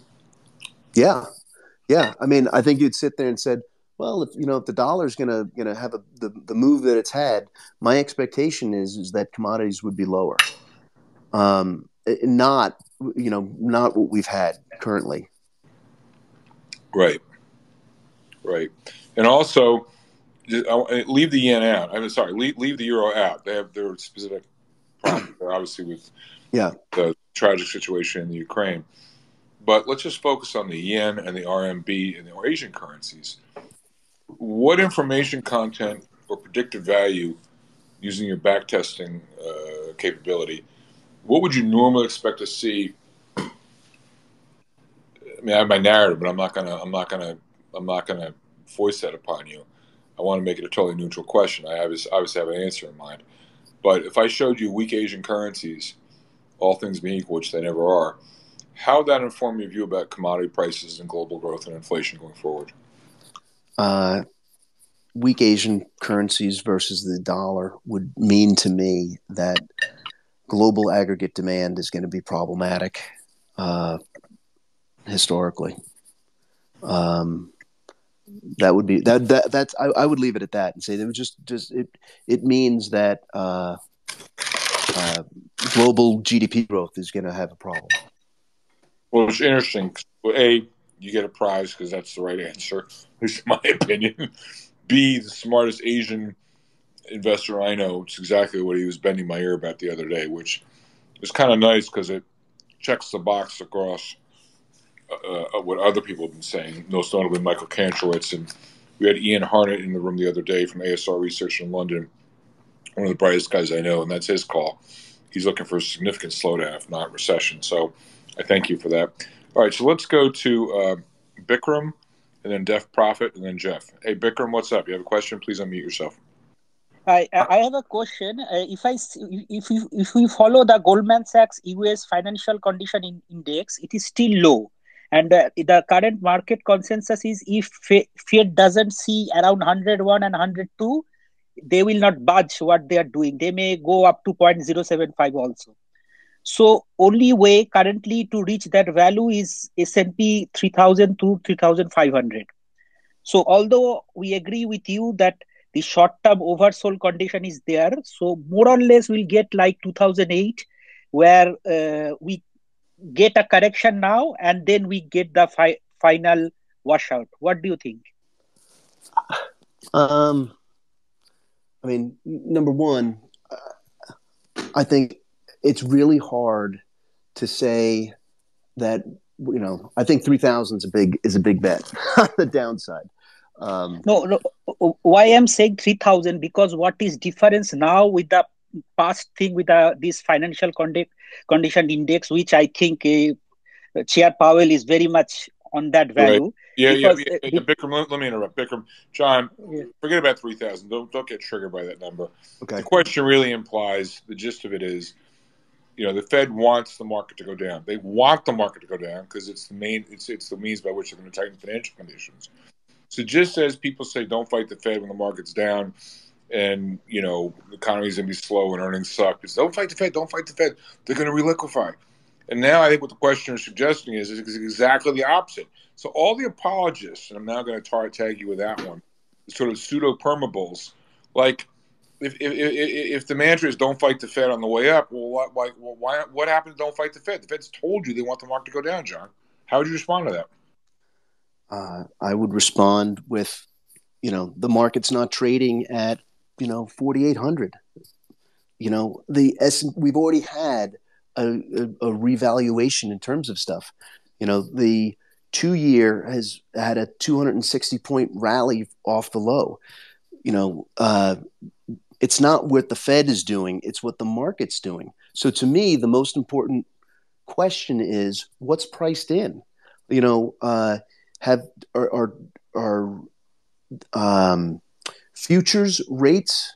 I don't care about the what the the Fed funds uh, is going to do, but are are the futures on um, interest rates are they appropriately pricing in all everybody knows what the fed's going to do I, I, I think i think that's the question is is whether or not whether the fed is priced in or not and I, i'm going to say you know you know glass half full that after the um, you know russell's had a 27 and a half 30% decline my guess is is that people are pretty well aware that that the fed's raising rates Yeah, but John, okay, now, okay, now we're going to battle here. Here we go. So that's like saying to me, that's that, that's sort of like the same thing as well. You know, rates have gone up a lot. Yeah, from the most currently low level, the lowest level of rates in recorded history in five thousand years. So that doesn't tell you anything about whether rates are at the right level. And so if I say to you, that'd be like saying, you know, if we're sitting there in uh, the middle of uh, of uh, say say say, say in the in the fall of, of 2000 Yeah. and nasdaq already just went down 20% be like oh george it's already down. You talk rate of change i'm talking absolute levels. You would have said oh well it's already down 20% i'm like yeah from the most ridiculous bubble in the history in, in, in recorded history. So rate of change doesn't cut it for me. And i think what the what the questioner is implying forget about rate of change. Even though we've had that change financial conditions are still too easy. And equities are not cheap not the valuation counts for anything. Equities are not cheap by historical standards. So if the answer is financial conditions need to tighten because that's what the fed says whether or not you agree they should that's what they want to and a primary means by which they're going to use to, implement or encourage tighter financial conditions is having the market go down more. Like checkmate friend. Like how would you respond to that? So number one, I would agree with you in terms of valuations, and I think that that's a, a more than a reasonable argument, right? If you sat back and said, "Hey, you know, I, I think we should be trading at, you know, with everything that's going on in terms of uh, of rates and uh, what the Fed's doing, the number for 2023 isn't 250. It's really, you know, two and a quarter. You know, 16 times that. You know, 3600 like i don't know like i guess that's that's part of the the the the, the question in terms of that so my point is is that there's there's there's not a lot of insulation in terms of the current valuation scheme so so i agree with you so on on terms of valuation number one um and number two is i don't know i think i i think it's an open question as to whether or not the fed's going to be uh, is going to be able to do what they're they're they're going to do, right? I mean, what happens if um, I don't know? I look I, I look at I look at China. I look at what's going on in terms of the the the, the property situation there. It looks like they may have a, a, a real problem. You know, forget about what's going on in terms of COVID and the, and the different lockdowns, but like g- global growth coming out of, of China is going to be a lot lower. So I don't know. I, I, I guess I, I, I believe that um, you know, uh, conditions are already very tight. I think when people go to the gas pump and they see what gas prices are currently, I think their uh, disposable income is already going to is, is going to have an impact. So I, I don't know. I mean, I guess the question is is is like, um, you know, is this a commodity or is this a stock? Are the stocks really forward looking or they're not really that forward looking? I think they're forward looking or they've historically been forward looking. No, I, I, get it. I get it. I get it. It's a very thoughtful answer. All right, l- let's move on. Let's go to Def Profit, Jeff, and then Michael. Def Profit, good to see you, my friend. What's up? Yeah, hi. Um, everything is okay. Um, actually, I don't have much to say, so I'm just listening today. Okay, so, great. Yeah. You and I, you and I should talk offline later. Good, good to. Yes. Good, good to just hear. make me call. Yeah. Have a good day. Hey Jeff, how you doing? What's going on? Hey, good. How are you? Good. What's going on, man? I started listening to you guys when I was walking my dogs, and I walked them for an hour, and I was you guys were still going, so I figured I'd ask a couple questions. Um, first question is, um, do you see anything out of the Thursday and Friday rally that lets you think it's a little different than what we've had before in this downturn in April and May? Um, right now, I, what we typically look for uh, in terms of, of, of our stuff, we, we look for like confirmation days. I, I, I think it's too early to tell whether or not um, uh, it's anything more than than um, my, my I guess my preference is is that uh, I think that Thursday you're getting close to a low. I don't know after we've had a little bit of this move up. You know, I guess it just depends on how much volatility you can you can swallow. Um, but I haven't seen anything that necessarily says uh, that this is something different versus versus not. Um, like, in, uh, George, have you seen anything in terms of market rotation that says to you that hey, you know the strength on the reversal on on Thursday and the strength on Friday is is is something you know internally that you'd be reading into. I I I, don't look at it right now and say absolutely, not. Absolutely not. I mean, yeah, yeah. Some stuff is slammed so hard. I mean, I'm looking at some of this crap. I said earlier at the top of the show, you know, ARK could go to 60. I don't think it will, but this shit got slammed so hard. We're so far oversold. Like a lot of stuff bounce 10, 15%. It doesn't matter. So the answer is no. I don't see anything different, John. Yeah, I, I, I don't see anything right now that leads me to believe relative to, um, you know, volume or uh, participation or market rotation that, you know, outside of some of the extreme studies that, that, that we've done, uh, which have kind of been accumulating, uh, but like relative to to handicapping the quality of the rally, I, I don't see anything right now that leads me to believe that um, uh, that that reinforces the notion that this is a primary low, or or the th- or the the possibility that this is a primary low. So so no. And Jeff, what was the second question? So um, so John, um, I take it then that for you, it's only getting above forty one sixty five is your your litmus test, correct? Uh, I think it's got and it's got to stay above there. I, I mean, the pro- so so my, my problem, honestly, is is that I have a hard time. I think if you got to be bullish on this market, you've got to believe. Uh, you've got to believe that uh, estimates for next year are accurate, and you've got to be willing to throw you know, like an 18 multiple on that, which gets you to like 4,500. I, I think if you got to be like uh, fundamentally bullish, you got to believe that. And I guess the problem that I'm having is is that I think a fair multiple for the S and P is something like 16 to 17 times. And so I, I, I don't know. Like I, I think that there's more risk. I know we everybody talks S and P, but I think there's more risk in some of these large cap growth names than there is in some of these small cap beaten up names. And so my preference is to say, you know, despite the notion that um, the small cap is a higher beta kind of a, a, vehicle, but my preference honestly is is to to if you're going to be looking at this, I'd be looking at something in you know the Russell 2000 kind of a of, of a venue. Um, so, but yeah, I mean, if we get above 3165 and we can maintain that, then then I'm going to look back and say, see, George, I told you, you got to pay attention to all these things. Right. Um, So, so, so that's great. Hey, Jeff, I know you've been under the weather, but and so I don't know how much you've been looking at screens, but you want Oh, to lob in, you want to lob in any observations of your, of your own, Jeff? Well, I still got a couple couple more questions.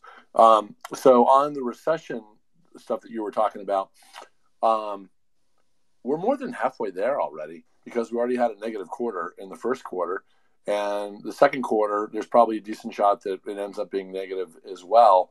So then, by the, the traditional definition of a recession, we're already there. But when I was like listening to you, um, you weren't kind of like acknowledging that and i'm just kind of curious why that is and I, I think it also comes into play that a lot of people don't even consider what happened in the first quarter and the second quarter of, of 2020 to be a recession even though by the same definition it was because it was really a march um, the last month of the first quarter in april the first month of the second quarter event. So i'm just kind of curious um, why so dismissive of the fact that we are going to be in a recession um, you know once we get the second quarter numbers in you know the middle part of july? I, I, I guess because I feel like that's a a uh, number one. I don't. I'm not make. I don't make. Uh, I don't try to handicap like economic stuff. There's a difference in my mind between the economy and the stock market, right? So, like, if we have a recession, so what? Like, what does that mean for uh, S and P returns on a go forward basis? Like, I look at it and I say, you know, there was something that was going on in 2015 that you know, to me was recession like, but there was no recession in 2015.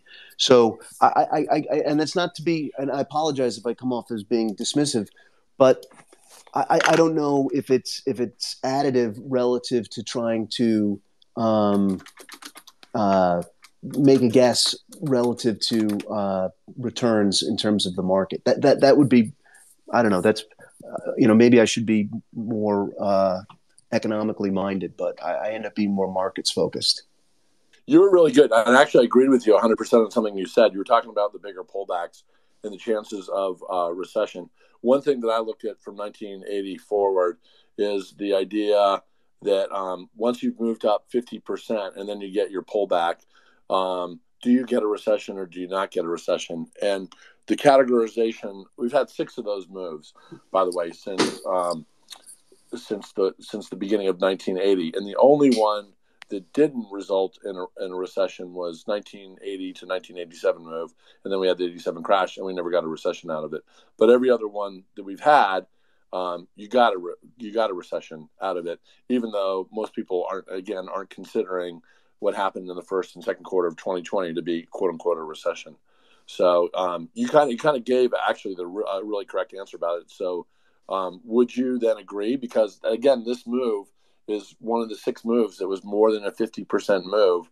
You know so we take it from the um, the 2020 low to the high. It was it's more than a 50% move. So um, that puts the odds extremely high. So are you putting are you are you willing to put the odds at extremely high right now for a recession or not?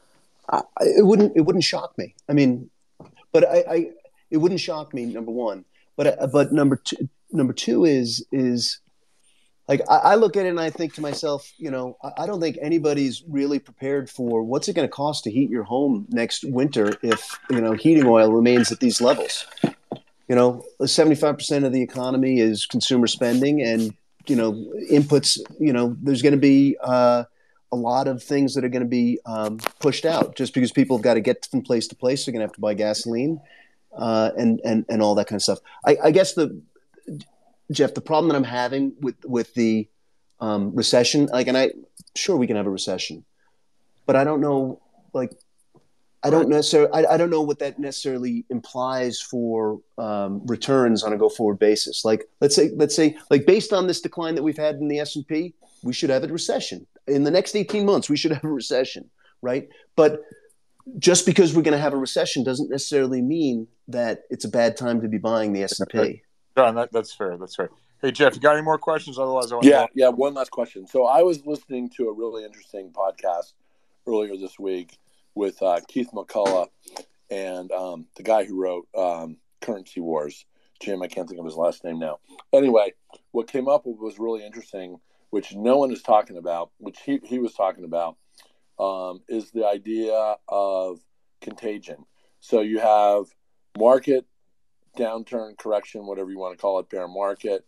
Um, you've got almost every asset class in the world, X certain commodities, um, and currencies are definitely in it. And his his thinking is that we're potentially moving towards contagion. And I'm curious if you've done any work on that. And it, it's it's mind boggling that I haven't heard really anyone. Um, George, I haven't listened to you a ton lately, but I, I, I probably doubt that you've been in the camp of calling for a, a contagion at this point. Yeah, Jeff, Jeff, let me just say so I'm not that smart. I just like to listen to smart people like John and yourself and the brilliant Michael Howe, who um, has actually been more right than anybody on this whole market cycle. And he always talks about volatility moving, like, you know, could start in currency markets, then goes to fixed income markets, then goes to um, equity markets. And so he's been banging that drum for a long time. So I think that question's spot on. So I guess, John, the question is, you know, the correlation or connection between increasing volatility in various asset classes. And when you look at for trend uniformity or vol, uniformity or volatility, I mean, obviously we've seen incredible volatility in fixed income markets, yeah, in selected currency markets, and funnily enough, you know, up until recently, equities were the least volatile. So, to Jeff's question, Jeff, please mute your mic, Jeff, because it's a little noisy. So the question really is about, you know, it's sort of like when you feel an earthquake, a tremor, you get little ones and then bigger and then bigger that spreads into other things. So the question is really around contagion and, and, and, and, and you know, something again that started out in fixed income markets or currency markets, the fixed income to currencies to equities or currencies to fixed income to equities. Equities like really being the caboose, not not the engine of all this. Any thoughts mm-hmm. about that sequencing, Tom? I, I, I, you know what, I, I don't know. I don't have a strong feeling on contagion. Let's move on because I really want to get other speakers in here. So, if, any thoughts to contagion? Otherwise, we'll go to Michael. No. Okay. All right. Hey, Michael. Good. Good. Good to good to see you. Good to hear from you. What's on your mind, Michael? Uh, congratulations to you and Carol. You are doing God's work. Thank you very you much. Know that. Thank you very much. Uh, a very interesting conversation. Uh, I would like to make a quick comment uh, for my question. We all know the macro setups have very small samples like we had so many recessions. How many, George? So we had like seven recessions uh, from the 70s? Or uh, yeah, something like that. I mean, John Karle's yeah. the data, but yeah, it's a lot. Go ahead. Go ahead. Yeah, yeah, just one stagflation uh, period. And uh, uh, how do you deal with these uh, uh, small samples? I mean, uh, we all know the financial markets are distributed in power laws, and and you need very large samples, very, very large, like in the thousands, to have any statistical significance uh, for any calls you make, uh, uh, like back testing with small samples is like a spurious correlation. So, uh, uh, does uh, John have any any way of dealing with these uh, realities? I mean, uh, this is uh, statistically indisputable that the small samples cannot generate any any statistically significant results. That's my question, George. Only. nice work, George. I appreciate Michael. I appreciate all you do and your comments. And uh, by the way, are, are you in New York City, Michael? Are you in New York? No, no, no, no. Oh, okay, because maybe no can... now since now. long time. Okay, right. it's it's not for me anymore. hey, hey, hey, John, you got a question? You got an answer for Michael's question? Yeah, I, I think the, the answer is is we, we we work with what we have. Like I to, I totally get it. You'd love to have as many iterations as you possibly can, and uh, anytime you you know try to uh, isolate a piece of data from uh, you know a, a, particular experience from the whole you know unless you're getting you know thousands and thousands of results like i think that that's i, I get that but uh, you know at the end of the day we're looking at um, different days and different time frames in terms of that stuff. I think it's just you've got to uh, uh, acknowledge that with open eyes with respect to appreciating some of our, our, our work and analysis. That's great. It's two, John, uh, you've been incredibly generous with your time. We're going on two hours. You're welcome to stay. I think this has been a great room. Um, I don't know what else you're doing today, but if you're looking for a graceful out, you've been more than generous with your time. So I don't know if you want to stay, you want to, you want to, you want to, you want to call it, take two more questions to be done. But uh, why don't we, why don't we take, why don't we take a couple more questions and then, and then we'll, we'll call it if that's okay. So we will do that. Uh, we'll take two more questions, and then you're dismissed, and then we'll go on to th- other things. If anyone wants me to talk crypto and Paolo Ardoino, um, please raise your hand. You know, send me a smoke signal or send me a direct message. I normally don't like to talk crypto, but we had some incredible news in the last day or two on Luna and that extraordinary interview. I got so lucky I managed to come face to face with uh, the chief technical officer of the biggest Ponzi scheme in the history of the world. It was an epic, epic, epic uh, interview yesterday. You can go on my Twitter feed. It's insane. Uh, last I looked, there were over 400,000 views. Um, this is going to go down in history. This is Enron all over again.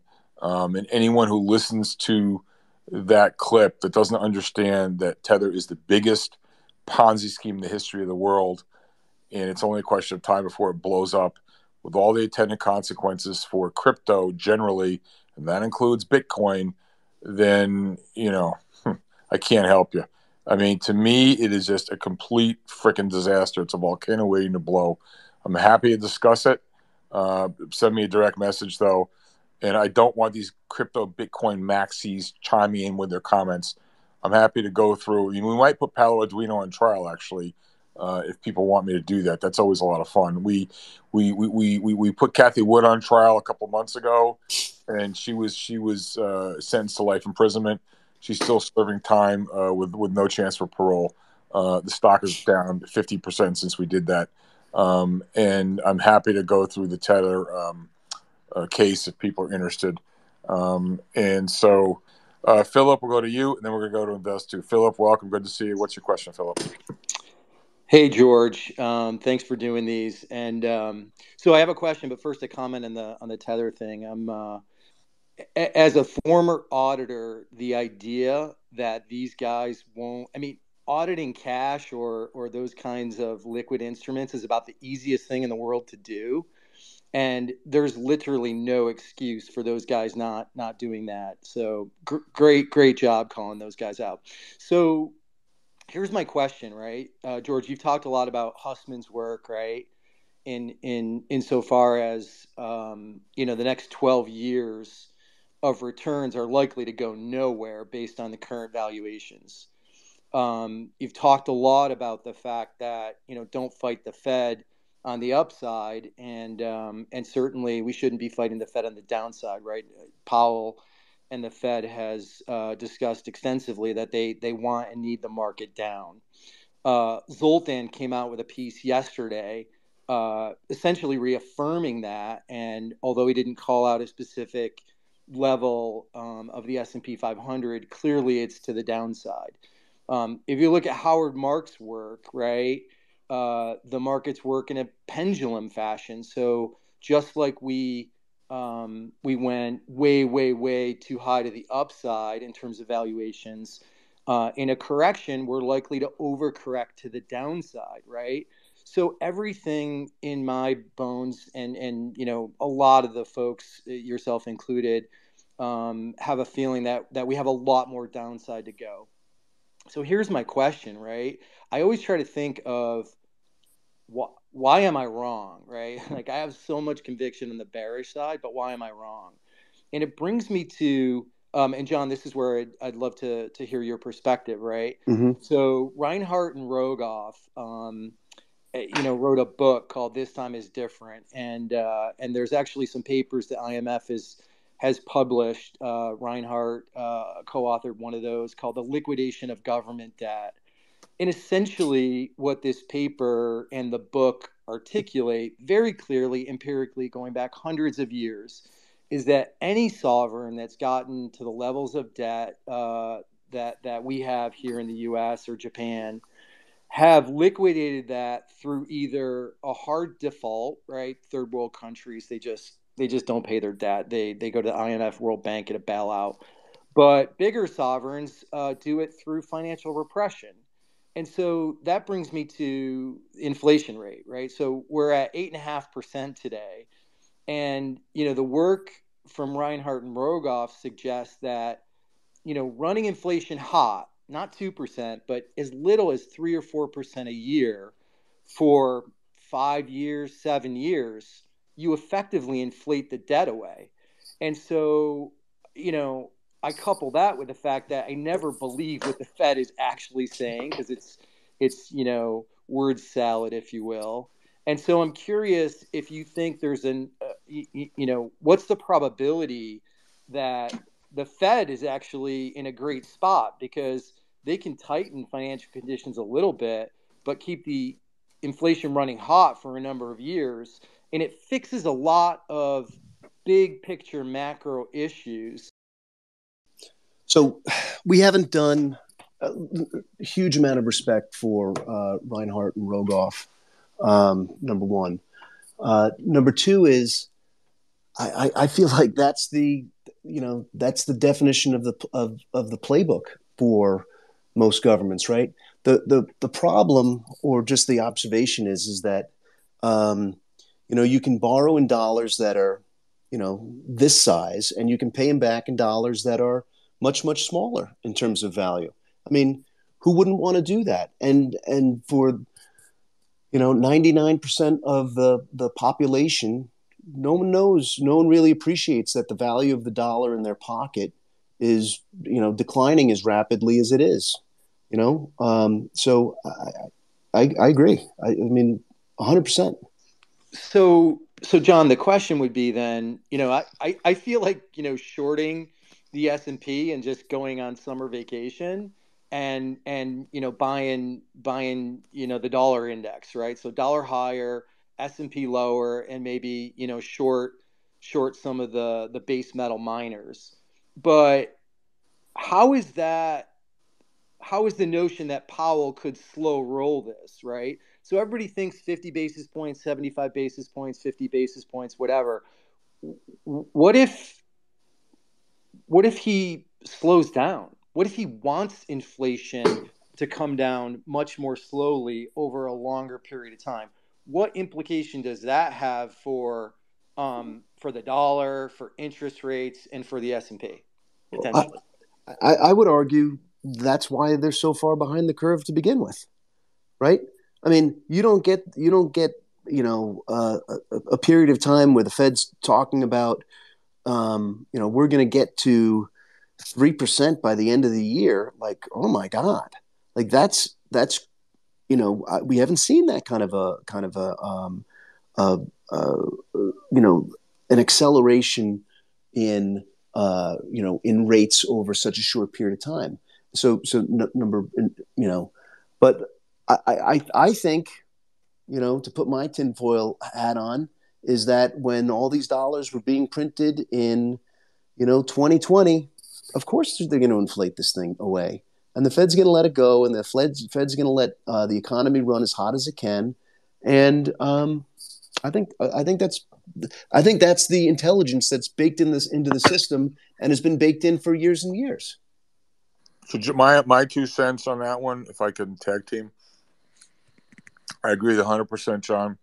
They engage in open mouth operations, but what's happening, and Philip, to your question more specifically I think the uh, bond market vigilantes are making a comeback. Um, they were on the endangered species list. In fact, they were they were extinct, and now they're back.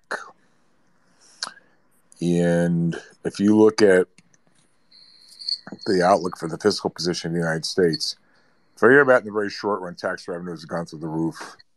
Seasonally, it always happens this time of year anyway. Plus, the economy's been in pretty decent shape backward looking. But looking forward prospectively, you have a huge amount of supply coming in a time when think about it, if you're a foreign investor and you're looking at how over how expensive the dollar is so if you buy a dollar asset you know probably look you know you may be thinking you're looking at a currency loss combined with the fact that bonds and john this this is narrative not going against all the data that you so eloquently portray of course. No, no, but but hear me out. There's two sides to everything, and, and this is not. I'm not. You notice my. I'm not screaming and yelling, but just think about it logically. You're a foreign investor. Dollar looks kind of expensive. Then you say, okay, I'm going to buy a bond. And you say, wait a second. What's the real interest rate I'm getting? That sucks. And then you look at the supply, like ton of supply. Real rates are historically nothing. It depends on what inflation you want to look at. But Yeah. if you're a transitory guy, maybe it's not so bad. But if you're not a transitory guy, you'd say this is horrible. In fact, you're still running a very stimulative policy. Banks are buying less bonds, and the central bank is going from QE to QT. So to me, the supply demand situation just looks horrendous. The Real rates are still low. The policy rate, Fed funds, is still wildly stimulative. And I'll just caution everyone about this idea that it's transitory. You know, the people that are yelling it's transitory are the same ones who said it peaked months ago. They have zero credibility. Why would you listen to them? They want it to be transitory.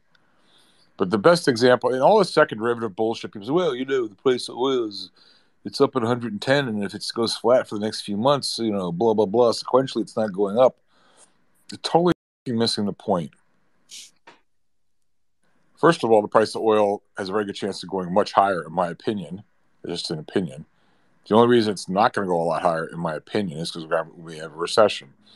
But I think we're looking at a very challenged supply situation in oil. Again, the Fed can't grow more wheat.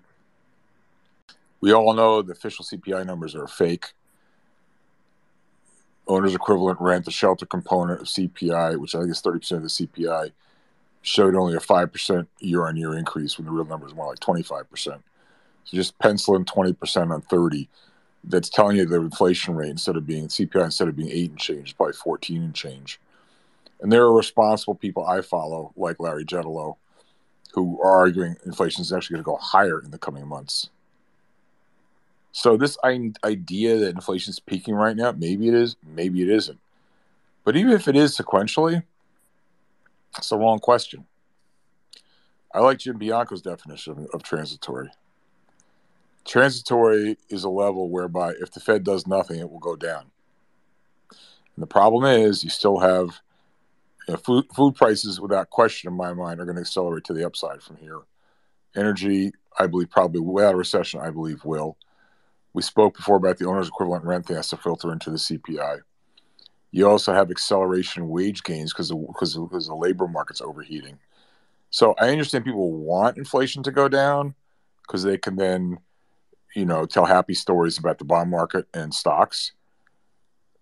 I would say I'll make an assertion. I mean, there's a speech here, John. I know I'm on my I'm on my bully pulpit, but but John, John, what would you say to the idea that I mean, I don't see how you can. I don't, I'm not saying you literally. I don't see how one can buy stocks here unless bond unless you unless one wants to buy bonds. In other words, oh George, George, there's no okay.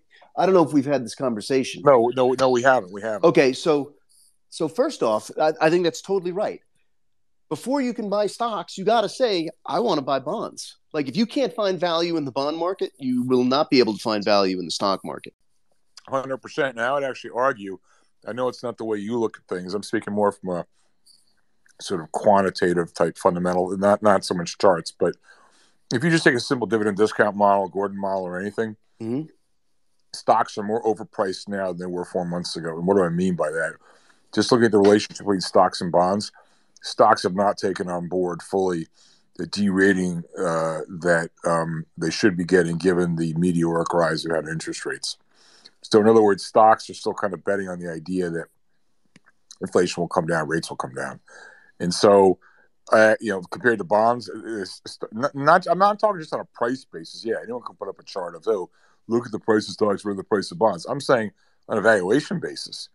Okay, you just take a dividend discount model and, and, and instead of 150 on the 10 year, plug in 3% and tell me what you get. Okay, it's a freaking disaster.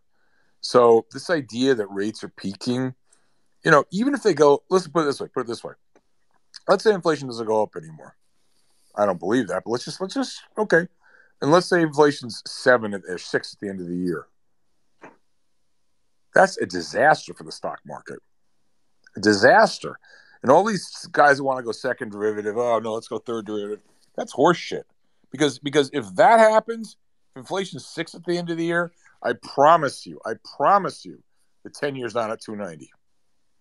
So, so what we do, George, we've got a little valuation thing, and all we do is we these aren't our numbers. We're just pulling consensus stuff out, and you know, I use next 12 month stuff, and I use next 24 month for for earnings. So, and then I, I, I, we create a blend on that, and then we take forward uh, expect, you know, where uh, ten year rate is on a forward basis and where it is like right now, and then we we we basically put a a, a risk premium on on top of that, and so, um, and this is why I say I've got a problem with valuation. So uh, John, a, John, can you flesh out a little bit when you go through it? I mean, I, I, I know it's implicit what I do, but when you go through it independently on your own, what okay, that, so what, so this what, is this is what does that suggest to you? Um, so so it means that um, uh, on a multiple, the current multiple right now on that is a is basically sixteen times, and that is with a uh, a, a risk premium of 325 basis points. So like like part of this is is like, hey, are we just to play devil's advocate is like you know, historically there's been somewhere between a 300 and a 350 uh, basis, which is a large uh, uh, risk premium um, that you would put on stocks to get to to kind of uh, get the uh, uh, similar valuation for stocks given their higher volatility. Like that's just John. John, John.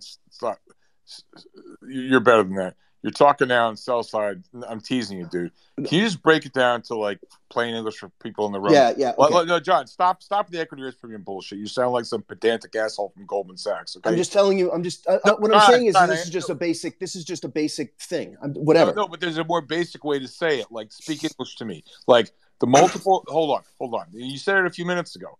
You know, 18 times 250, 4,500. Well, yeah. But hold right. on, hold on. Yeah. Maybe the answer should be 15 times a lower number. Okay, so speak to me in that language, so we all. Okay. Okay. So so 15 times. So a 15 times rate.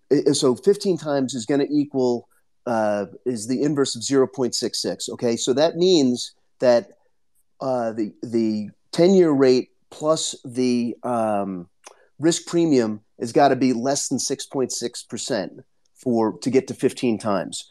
So the question is is like if you were if you believe that interest rates are going to go to like 4, you know, like you're you're you know 15 times becomes a very um uh, reasonable expectation. Okay, so, so, so John, I'm going to declare force majeure because the man, the axe, the guy with all the numbers, he just showed up. And if you've not had the pleasure of Michael listening to Michael Kantrowitz speak, you're not going to because oh, great, great. Because he's got all the numbers. This is the number one strategist in the street.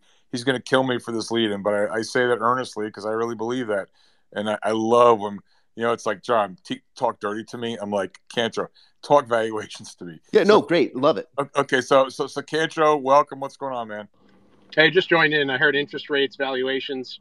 Yeah, so so so so so so so Michael, the question is, don't give us a single point estimate, but give us a framework give us a framework for like you know where valuations are and where valuations might go depending on the tra- trajectory of the economic and earnings cycle that you foresee. Uh, okay, we'll try to keep it simple. So, index valuations are a function of three things: the composition, which is the number one driver of, of the level. More cyclicals, you tend to see lower multiples. Look at the TSX compared to the Nasdaq. The NASDAQ will never be cheaper than the TSX because of composition. The second and third are interest rates, long term rates. Um, those are the most inconsistent drivers. I mean, think about every single recovery, rates go up. Then why do valuations go up too? So rates don't really work so well as you know trying to pin a an equity, you know, an equity yield compared to the Fed model. You know, none of that that's just garbage. Doesn't work. And then the most important thing that really ultimately drives where valuations are going to go within a given year, irrespective of the level, is, is credit spreads. So it, it, at the end of the day, the low in the valuation, and this is going to sound stupid, but it's it's just what it is. The low in the valuation is going to happen when we had a, we're at a peak point in risk or whatever problems people are freaking out about, whether it's inflation or rates, and slowly that plus a slowing economy with slowing earnings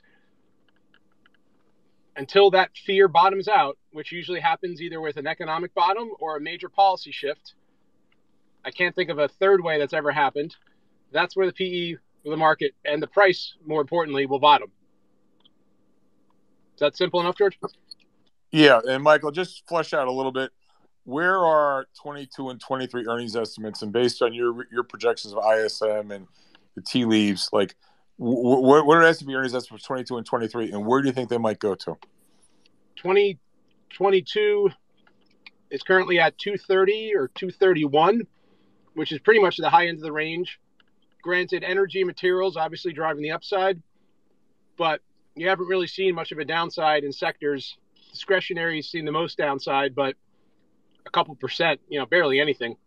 Nothing at all looks like analysts on the street are are really taking down earnings yet.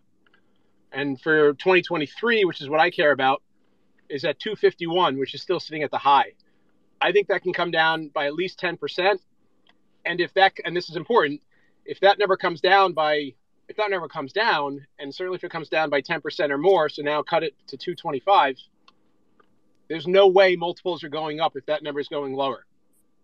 So where where's the multiple now? 17, 17 and a half. I would chop at least another two PE points off there. 225 times 15. That that gives you thirty. If, and that's if nothing yeah, that, breaks.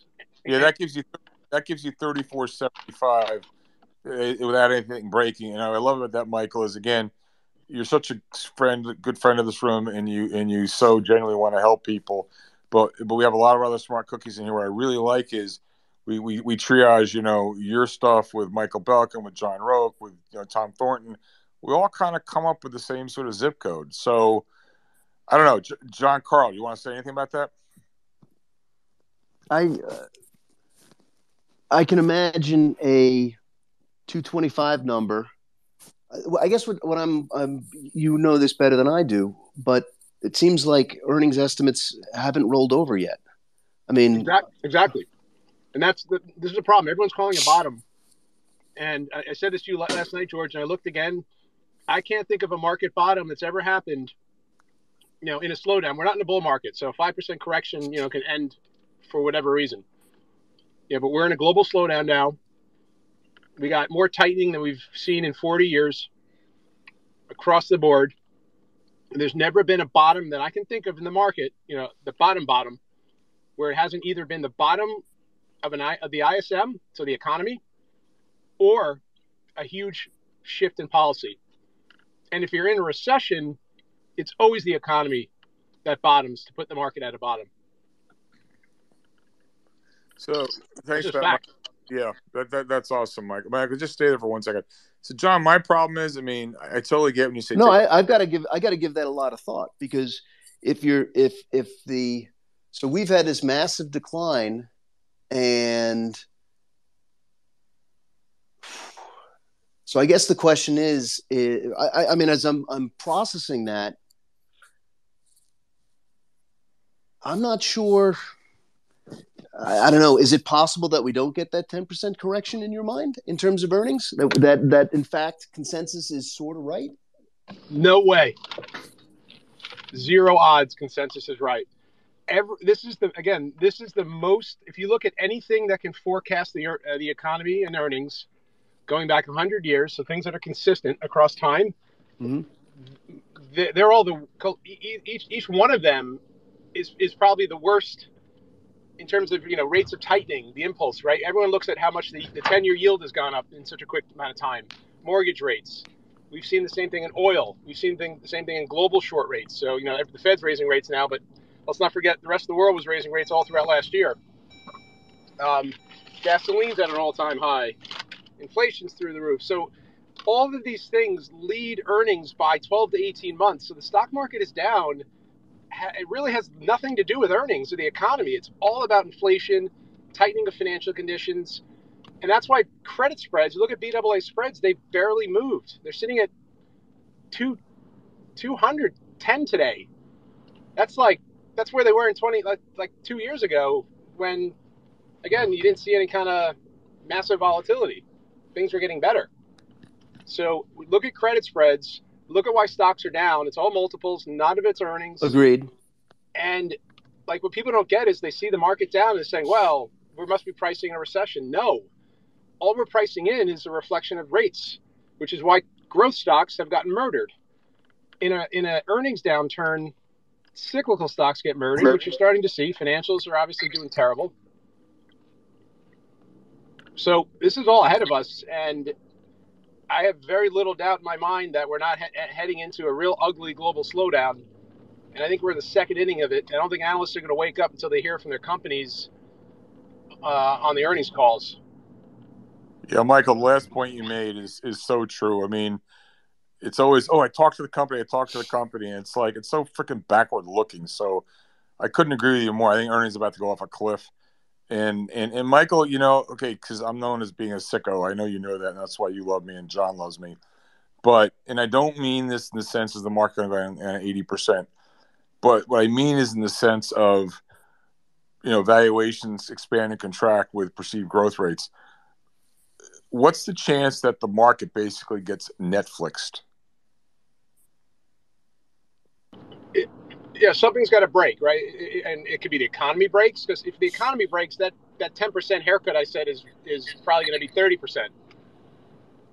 Right. So if the economy breaks, or, yeah. if, or if, if something blows up, you know, as growth slows more and more, we are more likely to see something break. Now we talked about you know currency pegs that you know it's probably not going to be a sovereign blow up because there's not so many currency pegs with the dollar anymore. It's just going to be a classic growth blow up and the question is, who's leveraged? Not going to have any more earnings. But Michael, let me ask all you these this: growth what... stocks or value stocks that don't make money are toast. Yeah. So Michael, Michael. So I always like to be a sicko. It's sort of like again, we're sitting around. Imagine I, I love sports. You love sports. John Karle loves sports. So imagine we call timeout, and you know I'm sitting there. I'm the coach. I pull up the stool. I got the clipboard, and everyone's everyone's you know crowding around. And I'm going to draw a play like like how are we going to kill the other team? So here's my sicko scenario for you. We get this big slowdown. Initially, at least, the, there's no problem on bank balance sheets. Financial system's kind of okay. Eventually, it, it'll go there as well. But in the early stages, you know, if all that happens is ARK goes down 80%. Wait, wait, what do you mean go, goes down 80%? It's already gone down 70% or whatever. No, but seriously, you just have these bullshit unicorn stocks blowing up, the Cathie Wood stocks blowing up, right? And then we get private equity blowing up. Okay, like okay, so let's see, the risk-free rates going up, and you got credit spreads blowing out, and gee, a lot of these companies, especially the ones that are consumer-facing, they can't they, they got margin squeezes. So let's say credit equity starts blowing up. So the risk is really not on the bank balance sheets.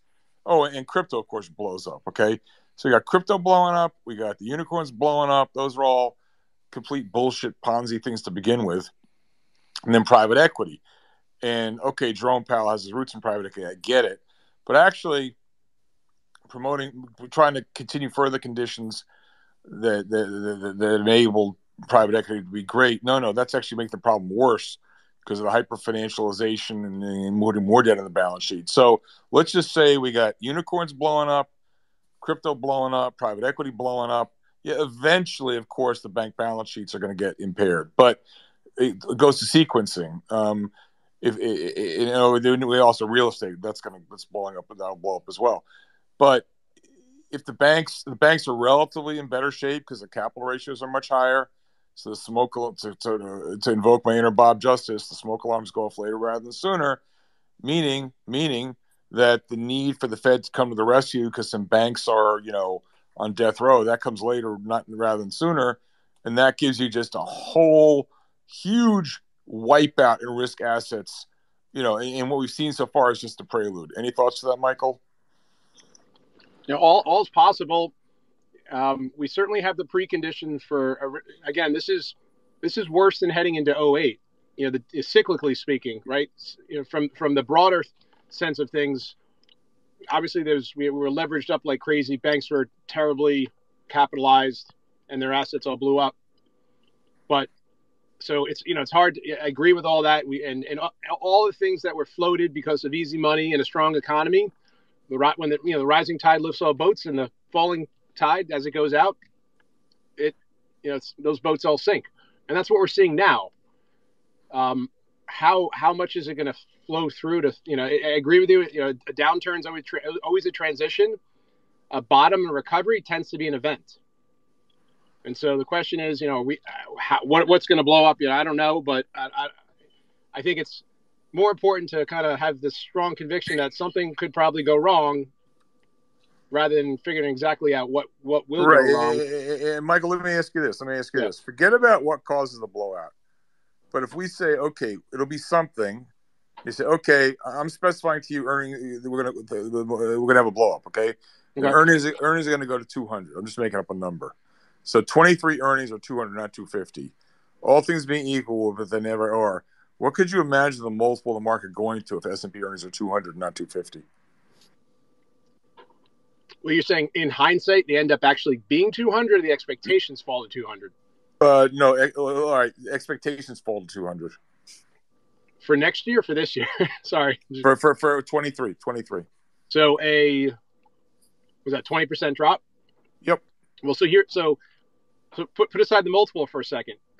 So if if estimates fall 20 percent, the market's down 20 percent, right? That's just Right. math.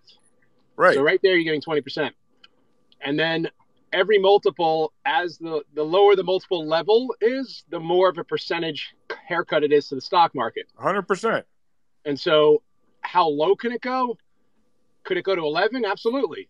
Could it go to eight if, the, if we have another global financial crisis? Of course. Yeah, You know, I, I don't know. I don't know. Nobody knows because you can't model that out. Right, I know, but Michael, when you talked about how credit spreads being the driver of one of the key drivers of the multiple, and the band just showed up, the party hasn't even gotten started in the credit cycle yet. And I work in a credit shop, and I say, okay, let's just start layering on. You know, where could spread? So let's do it another way. Okay, let's wherever credit spreads are now, three twenty five or whatever they are. Okay, without going totally crazy like a normal credit cycle, and then you can go to the crazy credit cycle. Where could you see credit spreads going to, and what would be the implications for the market multiple? Well, there's a fairly linear correlation between credit spreads and the multiple, which is going back to my comment. You know, when when risks rise, multiples go down. Sometimes they rise because rates go up, which has been the story most most of the story year to date. And you know, rates are inflation. It's going to increasingly be the story about multiples. Uh, I'm sorry about credit spreads. So today the BAA spread is at 212. Uh, at the right before Powell pivoted, they got up to 250. So Powell certainly saved a, uh, a much worse market in, in 2019 because earnings continued to weaken, um, and so that was the end of that. But we had a lot. We've got a lot more tightening today compared to 2019. How high can those spreads go? Uh, 350, 400. You know, at- COVID we hit 440. Let me see, let me go back a little further. I think we hit about. I mean, again, it, you know, we're getting into silly land where it's just like it's going to be, you know, it's it. What's Yeah, but talking- my, my, my, Michael, Michael, Michael, John Karle's texting me furiously. Uh, like, as a general rule, he does not like to do equity risk premiums and drive at the same time. So be careful, please. Um, Yeah. So no, but seriously, if you take if you take your your your the thing the thingy from two twelve to three fifty just for round numbers, what's that mean for the market multiple? uh, absolutely lower, and it's going to be worse for cyclicals, low quality names, and leverage. It's not going to blow up. It's not going to be as bad for growth names. It's going to lead to probably a lot of relative PE expansion for consumer staples. So that's that's the other thing. People are saying, "Oh, staples are so expensive now." They're they're not expensive now, and they're going to get more expensive on a relative basis as risks in the world increase. Um, and so, again, you know, if we're at 17 now, we can go down three points in a heartbeat.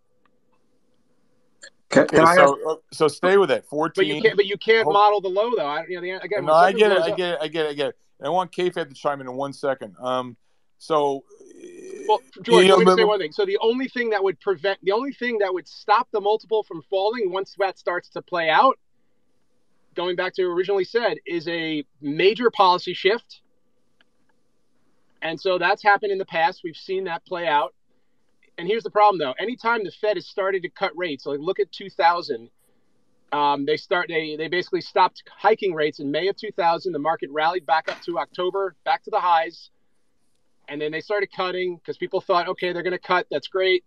But then we entered a recession. So the Fed can save the market if we don't go into recession. If we're heading to recession, there's nothing the Fed can do. At least that's what history has shown. And Michael, lastly, and, and KFAB and then Gilbert, I want you guys to jump in here. The last thing, Michael, you and I talked about this the other day. You know, where, you know the counterfactual, where would the market have been without the pandemic? And then going back and looking where it was in in, in 2019, and it, it, it had gone up a lot because of you know other factors. I mean, amateur chart charting 101 it's easy easy easy to put a two handle on the s&p what would you say to that michael absolutely you know 2019 was all the market went up all because of powell's pivot rates went down that's what did it it was all multiples earnings kept getting worse and worse in 2019 it was all multiples and it was all growth stocks yeah, that was the beginning of, of the end. Well, not the end, but that was the beginning. And then you get the pandemic, which just accelerated what, what had happened in 2019. Um, if we didn't have this inflation problem today, I think the market would be flat because multiples wouldn't be down as much as they are, and earnings would be where they are, up four or five percent. If you look at 2011 and 2015, the first six months of those years, overlay that with today, and that's the biggest difference. You know, we were in a slowing economy then. The difference today is that we've got spiking rates, really tight policy, which is pulling, you know, which is starting the bear market. And then in 2011 and 2015, and going forward, you then had an earnings bear market, which took the stock market down again. So I, I would rather be short, small, small value, cyclicals, financials, industrials, autos, yeah, I, I, think, yeah, obviously, again, I, I don't want to talk about the next two weeks. Who the hell knows? You know, maybe this is the beginning of a, of a bear market rally of 10%. Great. I hope it gets there because I'm going to short the hell out of it. Michael K, you're on the money as usual. Um, KFAB, did you want to say something, KFAB? Yeah, I just wrote. I have, I have one quick comment and then a uh, question for Michael and then one for you, actually, George. They'll, they'll, all be connected. So if you go back to uh, John Hussman's piece uh, that we all talked about back in January, um, you know, basically he decomposed profit mar- non-financial profit margins and how much of the trillions in deficit uh, stimulus from um, the pandemic basically you know jacked up non-financial corporate profit margins to 15%. That's relative like long-term norms of, you know, let's say 8% if you're going to be generous. Um, so just stimulus running off is is probably a headwind. My, my question for Michael is um, th- those numbers that you're talking about as far as Wall Street consensus, I mean, I, I think it's pretty widely known. This will be my question for George. Earnings quality is back to being an absolute train wreck, as if we never went through 2002 or 2008. So everyone's backing out, you know, stock compensation. No one's amortizing uh, goodwill anymore. All these fun things that we've gone over over and again. So is that like 230 number the the non-GAAP, you know, EBITDA engineered financial stuff, or is that like an actual number? It's operating earnings. Um, yeah, so that so that's the issue. So you get into uh, not but, not only do you have the risk of a recession, you've got phony baloney earnings. hundred percent. That so that K K KFAB, KFAB, what you're asking. So Michael, well, KFAB, I want to translate what he said. He wants to know is, is the market is it community adjusted EBITDA how we works? Can we, you well, know, it's more know. than that too because you know uh, accruals tend to be highest at the top of the earnings cycle, and then as earnings slow and we head into a deep slowdown, and then the whole earnings, you know, everything gets hit across the board. That's when companies clean up their balance, they clean up their income statements or balance sheets with all those accruals and they dump them. So yeah, and that's that's you know this there's there's a healthy amount of accruals that um, may or may never you know come to fruition. Yeah. So I mean, basically, what I'm sorry, George. No, you go ahead. You go ahead. And they're going to follow up with something. Well, well, basically, what I was going to say. I mean, if you go back to the, and I don't think this is a perfect analog. They never are. But if you just look at the 2000 and 2002 downturn, that was not a severe recession, but it was an earnings collapse because, again, a lot of the earnings were baloney A lot of it was based off of, you know, with the zombie companies, there's a lot of echoing where you have, you know, all the unicorns that were buying all this crap and they're going away. All these companies are going bon voyage. All the cryptos going bon voyage. All this fake demand is gone uh, are going to be gone, even if the recession's not a deep one. And so you could see that 230 number end up at, you know, pick a number, 100, 150 in a cyclical trough. Yeah, I mean, Michael K, um, it's echoing what KFAB is saying, and you're the guy with the numbers. Have you ever tried to go through the exercise of not just looking at the market on GAAP earnings? It's even worse. In KFAB, you'll know what I'm talking about. And Michael, you know what I'm talking about. All the bullshit shenanigans they pull a lot of the crap which doesn't ever goes through the income statement, like they do acquisitions and you you set up the you know the amortization reserves, all these write offs, and you write back the earnings, yada yada yada. Have you ever tried to go through the exercise of not looking at GAAP earnings, but looking at changes in shareholders' equity from year to year, which is not just reflection of GAAP earnings one year to the next, but it's all these other, you know, stepped up basis bullshit for acquisition, so on and so forth because those are very real numbers. And is, is, so I'm really talking about. I mean, look, accounting is a very imprecise science, so maybe it's too hard to do it. But I think it'd be a really interesting question. Oh, and then you take it to on a per share basis too. That's a whole other thing. If I, if if if if if someone went could do the calculation, I don't know how you would do it, Mike. Maybe to me the data set doesn't exist, or maybe yeah, I know a shortcut how I can do that. But if you just try to capture as best you can changes in um, real book value per share. Okay? I didn't say, I, I, said book value. I know it's a very quaint notion. I didn't say GAAP earnings. I, did, I said book value, and I want it per share because of the fucking share count creep. All right. I think you need to get Chanos back in here, George. get rid of share count. Wait, what?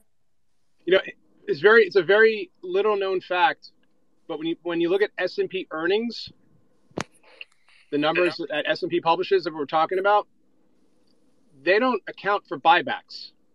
So buybacks does not make the S&P aggregate go up. They use net income. And then they have a divisor. Howard Silverblatt has written papers on this. Uh, Cliff Asness has written something on the same thing, and we've just echoed what they've shown. There's no buybacks when you the buybacks do not influence S&P earnings calculations because they use net income. It's not per share. So what is that saying then about this? The number when you see earnings per share is that understated, overstated? Um, well, here's the thing. Like I, everything I said, you just said, I totally agree with. There, there's so many nuances to earnings these days, and and that's why if you go to Bloomberg or go to IBES or go to S and P, and say what are the S and P earnings estimates, or what are the S and P earnings last quarter, S&P publishes the well the, the, estimates. Let's focus on that you'll get three different answers because they calculate it differently. So at the end of the day, you know, what, what I'm focused on is where are consensus estimates earnings going in aggregate? Because, you know, whether the quality is, you know, is 10%, if the real number is 10 or 20% less, all of that's going to move in a parallel shift down anyway. So correct. Yeah.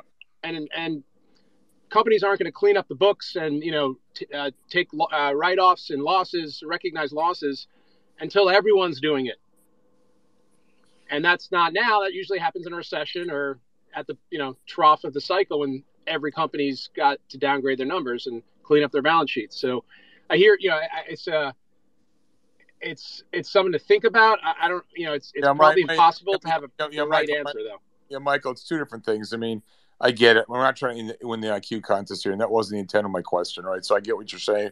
I think you rightly point out the changes at the margin, which are going to drive price. I get it. But I'm, but you know, it's a topic for another day. But let me go down this rabbit hole because it's a really interesting topic. When you look at one of these bullshit new economy companies, I take out the word bullshit. You look at a new economy company, which, you know, they give you the non-GAAP earnings, they exclude all the write-offs, they exclude the shareholder, um, uh, the, the sorry, the stock options, which by the way is not an academic question anymore because now that, for instance, Netflix, just as an example, is as low as it's lower than it was in 2018. You know, people are going to start to say, "Well, wait a second. Uh, I thought a lot of my pay was going to come from stock options. Going to be money good. Hmm. If we're not in this Rube Goldberg perpetual money machine type of market anymore, maybe I should get paid more. Maybe I'll leave to go to another place. I get paid more cash. So these, these surely, surely these stock options are, um, it's a real expense, and the deniers would have you believe otherwise.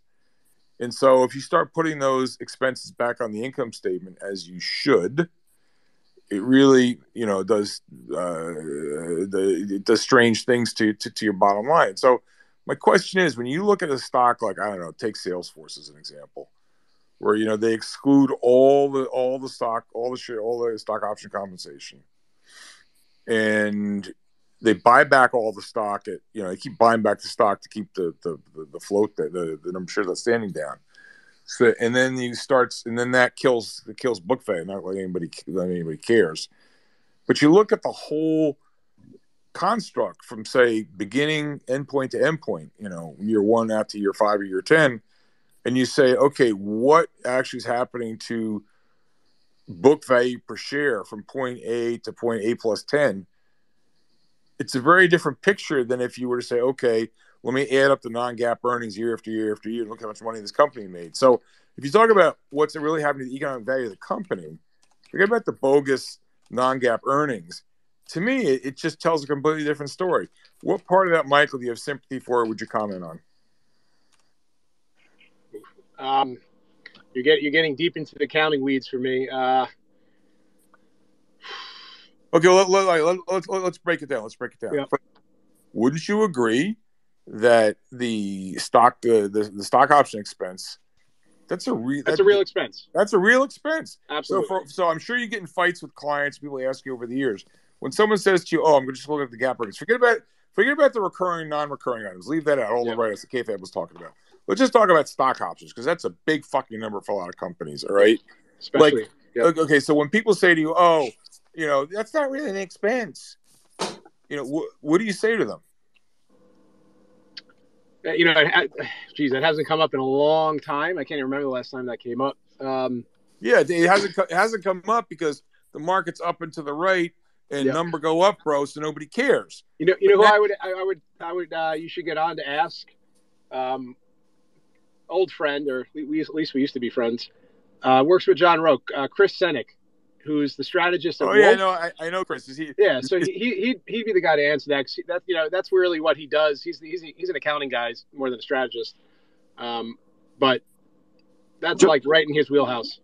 George, I can speak to this a little bit. I, again, I'm not a. You go you for probably, it. You probably know about the uh, you know the micro accounting uh, analytically with specific companies better than I do. But from a, a high le- a high level perspective, I mean, we, if you look at the tailwinds that have driven corporate profit margins, again, non financial, up to that kind of sustainable 10 to 11% glo- uh, post global financial crisis, it's been low interest rates, it's been globalization, it's been corporations leveraging up balance sheets, it's been uh, accounting shenanigans coming back and, and bad quality of earnings, right? All of those tailwinds that have driven that up to the point where even a Shiller PE, looking back 10 years, basically imputes a 10 to 11% profit margin.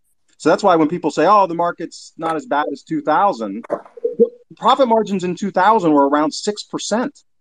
We're, we're at like, you know, like I said, we hit 15% coming out of the pandemic. So again, if we just went to six percent, assuming no recession, just you know, unit labor costs revert to the mean, and uh, uh, because of reshoring uh, in supply chains, that costs go up and and interest rate expense goes up, like Verizon just talked about. If you just went back to seven or eight percent, you're talking about S and P earnings at you know 175 just because of margin compression. That's not even a recession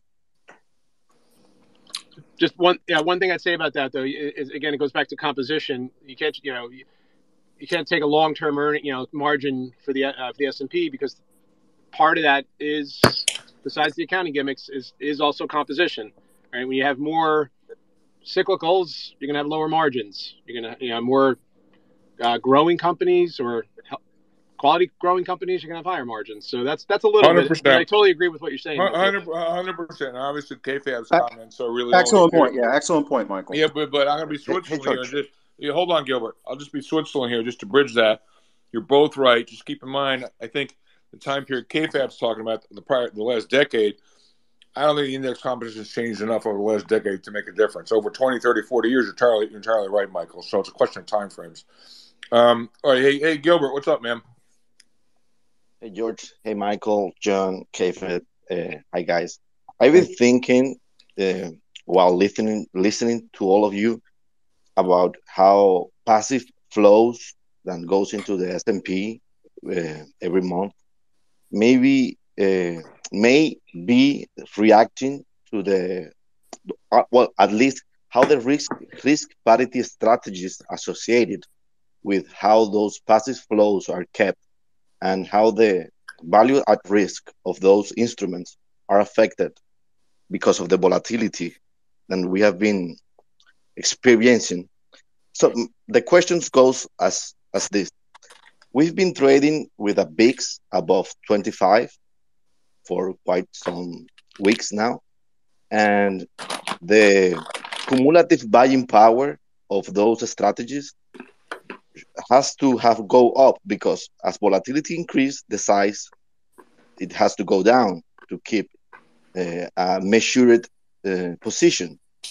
My question is, how will react those passive uh, strategies to a lower high in the next rate hike? Because no one's talking about what could happen if macroeconomic data suggest a 0.25 increase instead of a 0.50. And we have to take into account that most central banks around the world have raised their rates faster than the Federal Reserve. So there's a ratio to keep in mind that suggests that even if the Fed keep hiking its rates, the velocity of hiking in other economies may give them more space to to to go slower, not to go faster. So I will resume my question in these two ideas.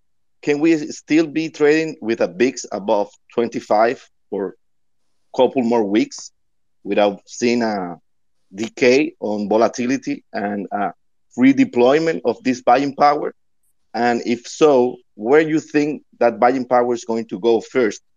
I know you said bonds first. I agree, should be deployed first in bonds, but the S&P could be its next target. And if so, I don't know how to imagine an S&P below 380 with uh, with a not declining workforce in the United States. Thank you. All right. So, hey, John Karle, you still there? I'm here, George. Yes, yeah, so John. You don't. Have, again, I just want to point out. I'm te- this is a joke coming out. I just want to remind everybody. Yeah. John was free to go an hour ago. He's chosen to stay here of his own volition because because because it's an interesting conversation. Yeah, no, yeah, no shit. I feel like we, I'm learning. I'm, no, I'm, I'm we learning. Have, we have we have the best rooms in Twitter Spaces. Period. Because we get all the smart guys in here. Okay, that's why people come here and they stay here. Yous can't leave. This is Hotel California. Okay. All right. So uh, Michael or KFAB or John Karle, and if none of you guys want to take that one, I'll take that one. Any thoughts? I, I, I have a lot of thoughts. I'll um, I'll distill it because I actually wrote something about this uh, last week. Um, I you know I think it's widely known, and he gets a lot of uh, justifiable plaudits. Uh, Mike Green having been all over this passive flows issue for you know literally years now. Um, where I've I've parted ways with him from a, a path and timeline perspective now is I, the analogy I use is long-term capital management in the mid '90s, where um, you know they they came up with this great ARB strategy, uh, and then you know people started piggybacking, and everyone kind of found the whole street realized what they were doing, and their profit margins went down as a as as a result. So they started to get mission creep, and so I, I don't think that this and and you know for people that don't know their history, I mean it turned into a huge crisis and the, the first real big Fed bailout um, in 1998. So um, I, I, think that the passive flows story is fully known now. Uh, I think there's been a huge ecosystem, a reflexive ecosystem that's built up. You you tell Wall Street a huge story of flows coming in, they're going to figure out a way to reverse engineer a way to rip off those flows um, through arbitrage and through you know, as I like to call it, market manipulation. I mean, market making. Um, so I think there's all kinds of ARB strategies, all kinds of embedded leverage in the systems with weekly options expiration, all this funky vol trading that's been going on recently, I think is part of all of this. Um, so I, I, worry about that, you know, similar to long-term capital management. Um, everyone is assuming that until we get unemployment, and that's going to be the thing that kind of, you know, rolls over passive flows. I worry about the ecosystem of of leverage that's been built up. And it's not just that it's all reflexive with these other strategies that have built up because of like risk parity. Uh, we just have a huge amount of embedded leverage in the system. Uh, market leverage not not financial leverage relative to corporates or the household balance sheet um, so that that's my concern is that we're going to get some kind of nonlinear almost like 87 where you get a vol event um, because of how much people just it's like God given right that it's a you know you have three day a week going to five day a week SPY expiries, and you know it's like stealing money from a baby uh, for these quants with these passive flows for literally years now, and you know it's gotten quite competitive. So who knows how much of their leverage they're they're managing. I would just say that um, Gilberto, as per your question I expect economic volatility to pick up. It sounds good. I don't know if it's true, but I, I kind of think that's right. Economic volatility is going to pick up. Uh, Michael K was talking about spreads moving out, so I totally get you know on a very short term basis these risk parity vol targeting guys they expand and contract their exposures depending on the latest tick, but that's a very short term flow. And I think in the bigger scheme of things, we're looking at higher levels of economic activity and therefore higher levels of uh, volatility in financial markets. Um, as KFAB was saying, there's a reflexive nature to this whole thing. And I also agree with KFAB. I think there's a reasonable chance or put this way, the chance of a nonlinear dislocation is rising. Um, I liken it to if you're walking across a frozen pond in the middle of January and it's 10 degrees outside and the ice is thick, no problem. But if it's mid May, mid March, and it's 33 degrees and the sun's beating down the ice as we get into later March, the ice becomes thinner and the chance of falling through gets greater. And that's kind of, I think, a useful metaphor. At least it's the way I think about markets right now. I hope that helps. Michael, do you want to say anything? Or John, do you want to say anything? No, I'm good. No, okay. Hey, George, I was just going to follow up real quick because, uh, I mean, if you go back and look at uh, realized vol uh, or even implied vol of the NASDAQ 100 post 2000, it, it's it's it was higher than where we've been recently for almost three full years. So you, you can you can have higher vol regimes last for literally years if if if this vol suppression regime that we've been in um, lifts. So that that speaks to your point, Gilberto, as far as 25. And it, you know, 25 was like the, the low end of vol for a long time, for long stretches uh, historically.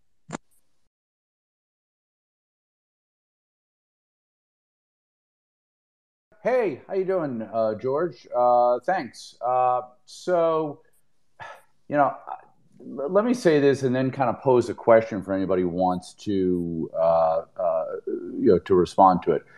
So, you know, I, I spent 27 years in the financial advisory space, but I was really an investment manager and financial advisor clothing. And now I talk to a lot of the folks in my industry as kind of a strategist.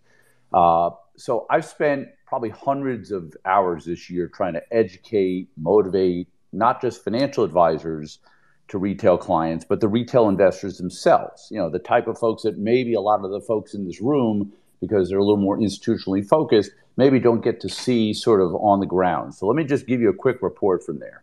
So I've been trying to, uh, I mean, with my team, I've been trying to distill, I guess, the, the type of perspective that I hear in this space every week because it's amazing. Uh, and it's a great feeder to somebody who's been charting for 40 years like I have because I get all the inputs I need to justify what I see in the pictures in the charts. Uh, and it gives me more confidence. So thanks to all of you. So I had my technician overlay. Um, and, and to me, what I'm trying to get across to these folks in the retail advisor space and retail space is a very basic investment rule of mine. Any investment can go up in price at any time. The difference between one investment and another is the risk of major loss you take on. And I'm sure I'm not alone in this room when I say you can get a rally at any time 5%, 10%, whatever.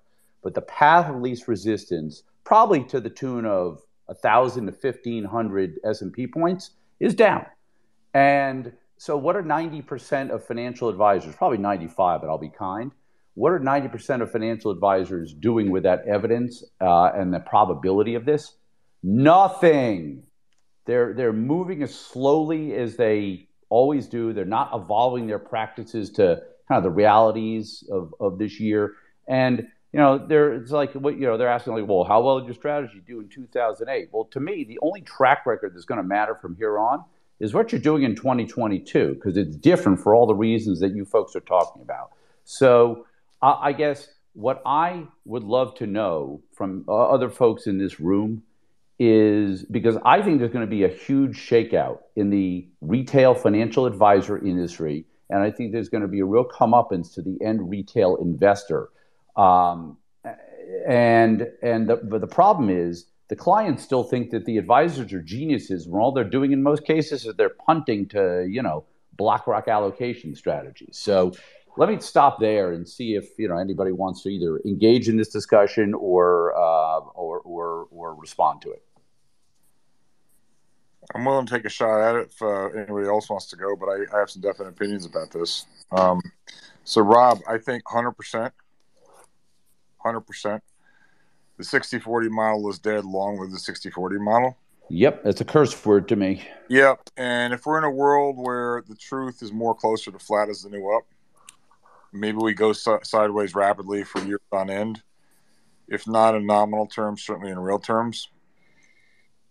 I think um, you know this huge this this and, and Michael Green is a friend, so I'm going to say I want to be very clear what I'm saying about this. Michael Green will never get you out because he's clinging to his passive bid story.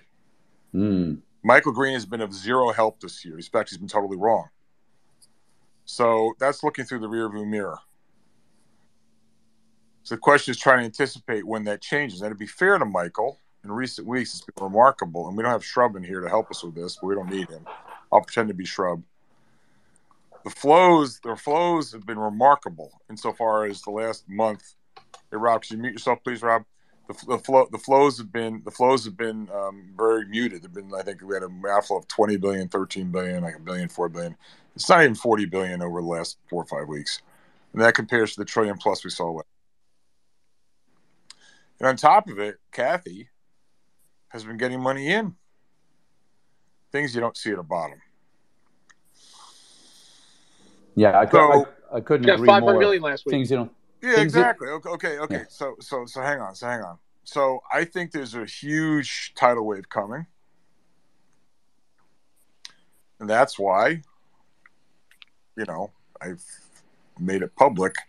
A lot of people have asked me to get back in the game and run money again. So, we're in the process of filing a uh, prospectus with the SEC to come out with an ETF, which is going to do things a lot differently. It'd be a long short strategy, more akin to a lot of the themes you're hearing in this room. So I think there's another way. I think you should run money any in any way except what's being currently the way it's being done. The hell with the index. I think it's. I think being an active manager right now, it is so easy to beat the market. It's not even funny. Forget about being short. It is so easy to beat the benchmark. Amen. All right, and this is to me. If you don't get it because you got participant bias, you've been run over by Fang stocks just go back. I'll take you back in the way back machine to the 80s when I was writing an international fund, and we all you heard about in the history books, you know, Japan, blah blah blah, real estate. The Emperor's Palace was worth more than the state of California. The Japanese stock market's on 60 times earnings. Yada yada yada yada yada. Okay, it's one thing to read about it; it's another thing to live through it.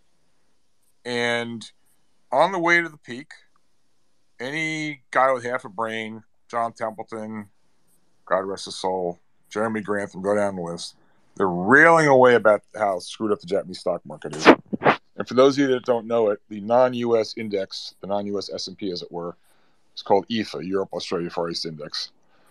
And the Japanese market went from like 20 some odd percent of, of, of, of that index to 66 percent at the peak.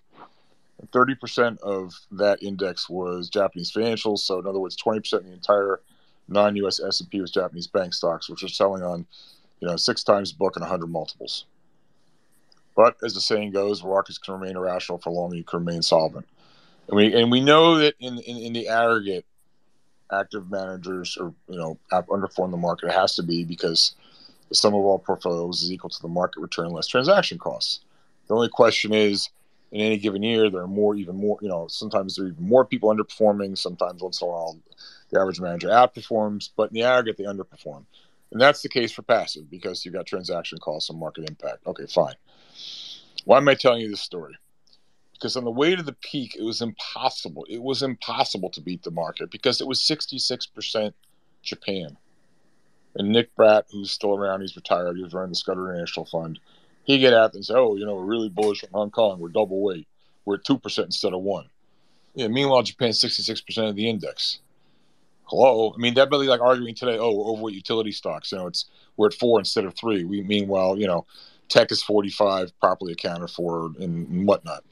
So the point is, sometimes the market makes you look dumber than you really are. Sometimes it makes you look smarter than you really are.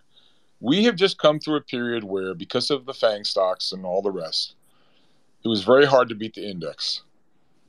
And I would humbly suggest to you, or not so humbly suggest to you, we're now in a period where it's really easy to beat the index. Really easy. And so, just at a time when everyone's indexing and the hell with active management and so on and so forth, it's the way it always works. Mr. Market always, you know, moral obligation is to embarrass as many people as possible. It's just the way it always works. As and I'm going to digress for one second. If Michael K is right on interest rates in the economy, it's perfect. Michael K, you didn't even mention this. I don't know if you picked up on this one, but I'll send you the chart. You look at the net short position in euro dollars right now. Every man and their dog is short euro dollars. I mean, I don't expect rates to go down, so I'm arguing against my, my, my book.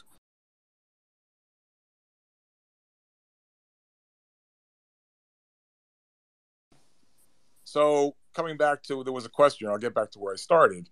There's another way forward. The ETF we're bringing out in September is going to be exactly that. It's going to be an absolute return product. Because frankly, you know, everyone is, oh, I don't want to short stocks because the market only goes up. Yeah, try that one. How's that working out for you the last year? So the alpha may be just in being long. I mean, I'll give you one.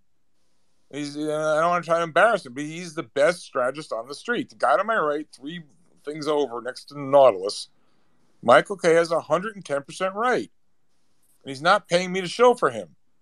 When he says, hey, you know what? Forget about the crazy Cathie Wood's crap in one end zone. He really opened my eyes and make me think. I, I love this from. Stop blowing your nose, Karle. Or mute, mute your mic. Sorry. Um, and and he says, you know, it's it's not just the crazy Cathie Wood's crap. It's it's the zombie value leverage garbage, which has only been kept afloat because of the Fed's irresponsible monetary policy, the most reckless policy in the history of mankind. And therefore, you don't want to be in either end zone. No American Airlines for you, no Cathie Wood's for you. Stay between the 30 yard lines. I think I'm, you know what? If I was good looking as you as Michael and younger, maybe I can imitate you. And and find companies with decent balance sheets. It's not a growth value argument. Decent balance sheets and reasonable cash flows. You will outperform. So I think his strategy of just being long between the 30 yard lines. And Michael, I'm going to hand this back to you here. I'm setting you up. Maybe you can flesh out a little bit more. Being long the stuff between the 30 yard lines and short the crap on a relative value trade in either end zone, to me, that is like a game delay and basket sway and slam dunk. I mean, I just, I, am hard pressed to see how that trade doesn't work. Michael, I mean, how does the trade not work, Michael? Uh, if the economy doesn't slow, which I don't know how that doesn't happen. So that was a little sneak promo plug for the ETF. And if anyone's interested, really could use your help. We need, we need 25 million, but I got to be careful what I say. The probably SEC is going to come after me. We're not registered yet, so I probably can say it. Um, you know, we're going to start this thing in September.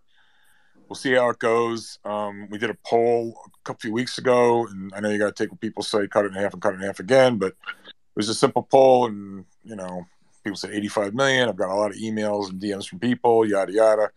We need 25 million for thing to be break even. So hopefully, some of you guys will come along for the ride. And it's not just it's not just um, it's not just you know a fund of itself. You should put all your money into it, but as diversifier for typical investor, maybe put five percent of your money in there. And it's not just a return you're going to make from which is uncorrelated to the market, but also part of my whole effort is to try to educate people. And you know, the ETF will be transparent, and we're trying want to try to teach everybody to become a better investor. So it will help you with the rest of your portfolio because you'll see that we won't own Cathie Wood's, we won't own Fang stocks. Uh, you know, have a bunch of shorts in there um, you can imagine what the portfolio would look like. So I probably shouldn't say much more than that. Hopefully, I won't get in trouble. Didn't know what I'm saying. I've already said, but whatever. So no, I totally agree. Going back to the question, yeah, I, I, I think I think there's more volatility in, in store, Gilberto. I think it was your question. Yeah, short run. Yeah, I get it. I get it. And like Michael says, I said trying to predict the market day to day, week to week. Yeah, sure. So you know what'll happen? These knuckleheads will since they're on a VAR based budget, they'll come in and buy more and drive it up and drive it up and drive it up. And then some of the retail idiots say, Oh, so you're saying there's a chance. And then something will happen. I don't know. Something will happen. Like a recession, Putin sets off a nuclear device in Russia. You know, God knows what happens to the Chinese economy. I don't know. But, you know, seasonally, we're into the worst freaking time of the year right now. So, put it this way put it this way Yogi Berra once said, you know, predictions are difficult, especially about the future. I have no idea what the market's going to do. I have my opinion, but everything's about risk reward. And, you know, if we're wrong and we're too negative, like how much is the market going to go up? It's like, like zero upside, basically. And if we're right, we're getting into a bidding war here. Oh, 3,500, I hear 3,200, I hear 2,700 in the S&P. It's like, why would you do that? It's, it's, it's no upside and all downside. So, you know, I'm on a rant here, but there was there was a concept before the rational bubble going back a few years ago. Yeah, everyone knows it's overpriced, but it's going to keep going up because the Fed largesse, yada yada yada. I'll get to you one second, Michael. There's a rational bubble: buy high and sell higher, trading sardines. Okay, now we got the rational bear market. You look at a slowing economy, falling earnings, possible recession, market which historically is overvalued. The public put a trillion dollars in the market last year, hardly's taken anything out the, the, level of geopolitical risk is has never been greater. The world order is falling apart. Like, what could possibly go wrong? Michael, do you have a question? Michael K. Well, I just wanted to kind of go back to if we talked about a lot about the indices and talked about quality, and I, I posted something a couple days ago, and, and, of course, right away people beat me up, and, and I was highlighting the difference in quality between S and P indices and Russell indices. So just I'm, I'm, I'm saying this because you know, like you said, you know, half big part of this room is to educate people. So I think this is a, a, a worthwhile point. To get into the S&P index, the small cap 600, the big cap 400, the large cap 500, you have to be profitable initially. That's why it took Tesla a while to get in, or you know any of these companies, Facebook, etc. You got to be profitable. In the Russell indices, you just got to show up. You just got to IPO. You don't have to be profitable. And so, I posted highlighting I think in the Russell, maybe 2000, I think 35% of the companies don't earn a profit today. And if you look at the same metric in the small cap 600, it's a fraction of that. And then you know it's the same thing in the mid cap index and the large cap index. You know the Russell 1000 versus the S&P 500. So what I posted was that if you're going to short an index, and I'm, this is not an invest, investment recommendation, there are a lot low, there are far more lower quality companies in the in the respective Russell indices, large, mid, and small, value and growth, than there are in the S and P indices. So, you know, we're talking a lot about the S and P going down, which I agree with, but that wouldn't be the index I would short. I'd sooner short the Russell 1000, or even more aggressively, I'd short the Russell 2000 Value Index, where all the zombies live. And so I think it's, it's an important point. You know, you got to understand, like George, you said, what you're owning and what you're shorting. And there's a huge difference between S&P and Russell indices. And, it, and it's the large difference can be explained by quality and profitability. And one of the worst performing factors out of the 130 factors we look at this year, it's not growth. It's no earnings. Just say no to Cathie. Thank you, Michael. Yep. Hey, Michael, you know what? I'll become. We get this ETF up and running. I'll become a real client. So there you go. Um, I, I, I have to I have to I have to say you got to be very careful implementing that strategy right here right now based on on on on the analysis that we've done so just be careful over the short term or the intermediate term I, am not. I'm not saying go short the, the, the Russell 2000 small value now. okay By any means. I think if I had to put a dollar away for a year, absolutely, I'm saying that today. From my perspective you should be playing when you feel like you have an advantage. If you don't feel like you have an advantage then you can then you should be on the sidelines doing something doing something else. That that's all. And i say sidelines and- when i sit there and i say oh i can clip coupons and make you know four and a half you know six percent in terms of stuff without taking on a huge amount of risk i think that's a reasonable thing to be doing in this environment. No argument with that, but was not clear. At, okay, are, you- are you, so you're so you're you are you were saying you are saying you have no opinion about the bigger picture. Is that what you're saying? I'm saying I'm open minded. Yeah, I'm not. I'm I, look. I'm. I'm not. I. I think, you know, like I. I know it's. It's. You know, maybe I'm the. I'm the. I'm totally the minority in terms of this. This crowd, but like, there's a lot of people that are super bearish in this mix, and I'm gonna. And I'm just gonna point out that stocks are down a bunch already. That's all. And and and I'll and I'll leave it at that. And I would say to you, this room is highly unrepresentative of what's going on elsewhere. And this room is highly unrepresentative because some of the smartest people in the community that I know are in this room. You know, you know, you know, if retail hasn't sold a goddamn thing and they're still piling into Cathie Wood's and hedge funds are still 45% net long, that doesn't strike me as bearish.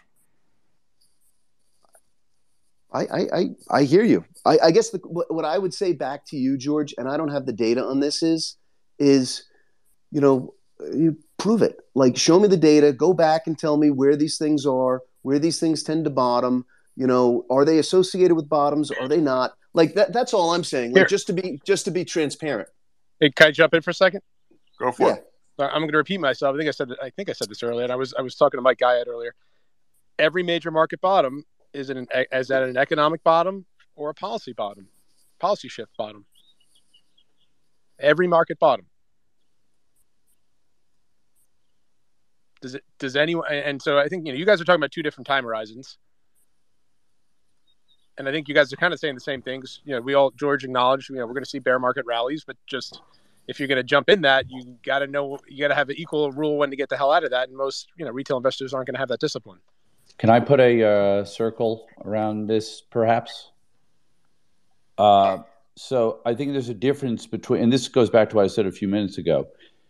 Uh, different time frames, but not even so much different time frames, because we all know the market moves, you know, three, four times faster than it normally does. Doesn't matter whether you're a trader or investor. There comes a point where you say, "All right, for the next ten percent move, I don't know where the next 10% move is, and I stare at the charts all day.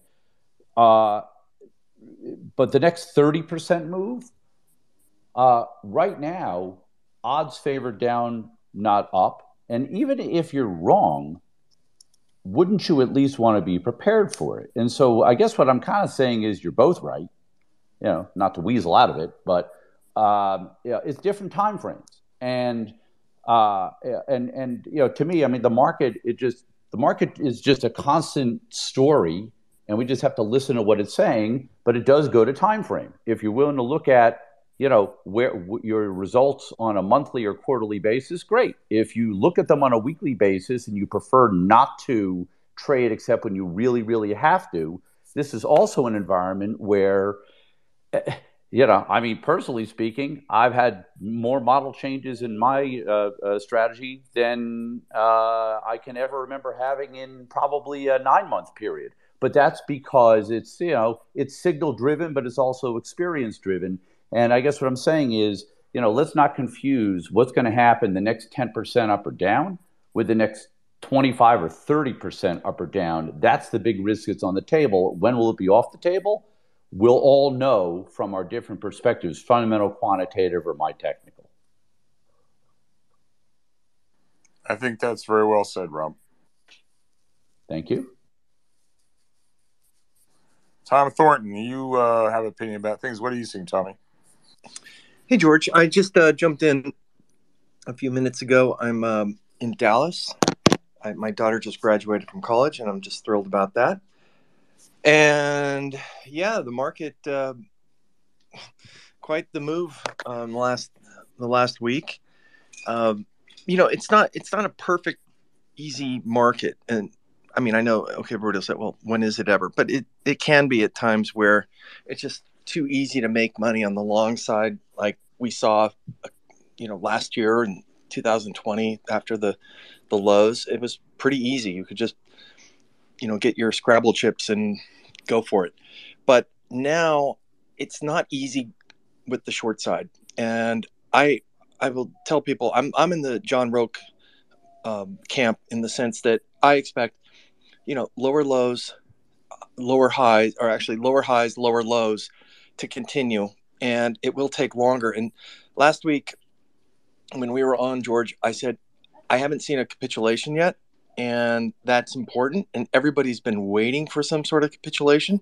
And the other day was pretty ugly. Not Thursday, not Thursday, but on Wednesday it was pretty ugly, right? I'm just trying to go back. I've been traveling. But Thursday, the breadth in the market wasn't so bad.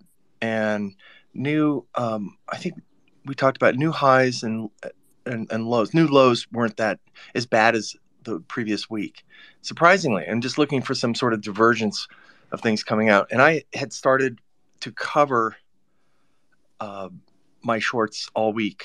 And I, I, I had a lot of people give me a hard time about it, and they say you're just you're covering too early, and you're you're starting to buy too early. And I thought to myself, well, then I'm guilty of that. Uh, I don't mind scaling in and out of positions early. That's just what I did when I worked at a five billion dollar hedge fund. You can't just flip on a dime and go, you know, well, we're short and now we're long. That's that's for Twitter. But I started scaling out, and I'm okay being wrong, taking profits, or even being wrong, starting to add longs uh, into a downdraft because I add small. I have a max position size five percent. I started adding a bunch of lungs Wednesday, Thursday, and I added more on Friday. Two percent. I added to some of the two percent, and and this is the type of market that there's no capitulation. You still, you, George, you're absolutely right. Cathie Wood is still getting inflows. I mean, people just want to incinerate cash, but that's their problem. We haven't seen the end of the road yet, and again, I didn't see a capitulation. I saw the potential for a bottom. Market sentiment on the S&P and the Nasdaq hit 9% for 2 days in a row on the daily sentiment index.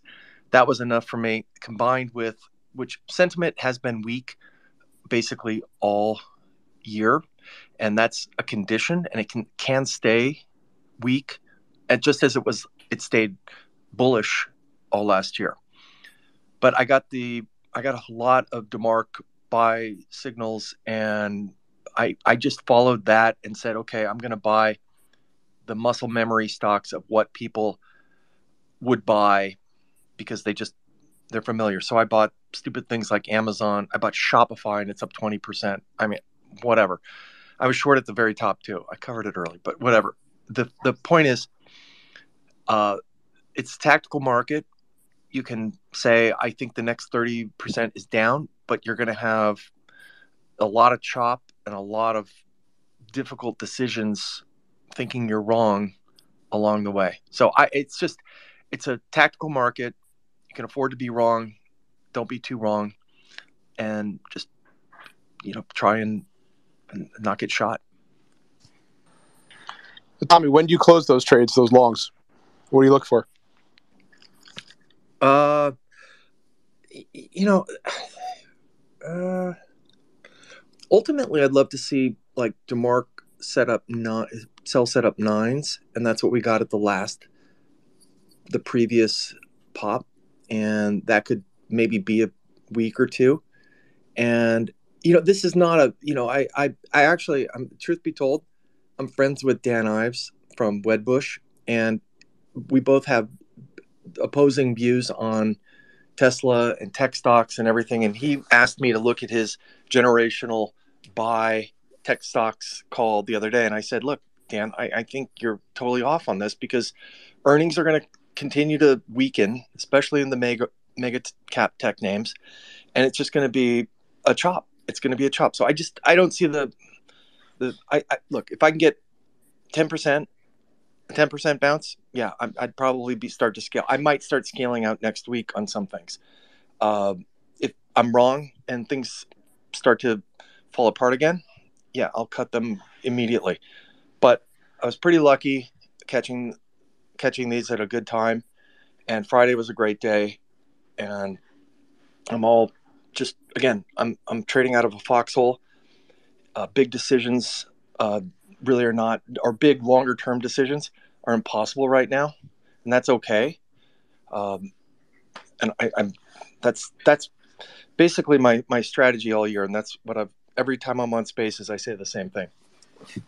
Tommy, I, I totally agree with you in terms of that. I think the the big longer term stuff is really is is really hard to make uh, for for what it's worth. I totally agree.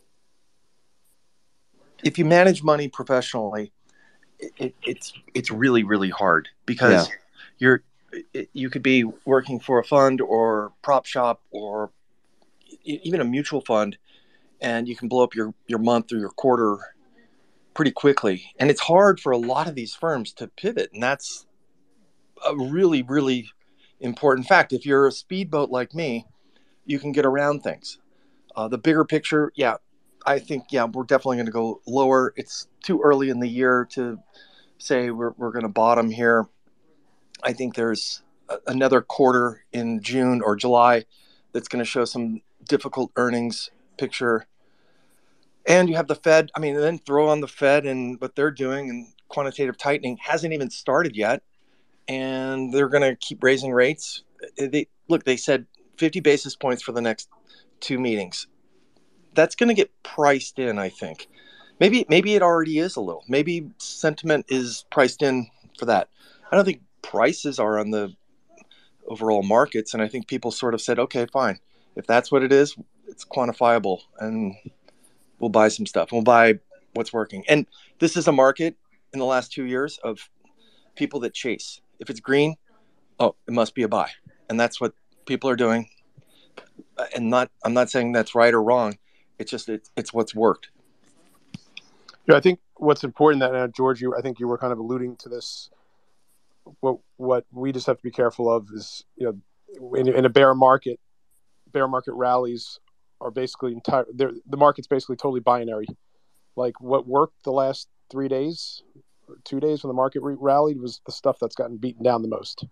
And as soon as that's over, that'll go back to being beaten down the most. Right. That, that's how these things tend to trade. So uh, I think it's a it's a worthwhile point to So people, you know, if you're buying, you know, right, ARK was was up 24 percent from 36 bucks or something. Great and when we the next downturn comes, it'll be the worst performer again, it, and it may go up another ten percent, twenty percent.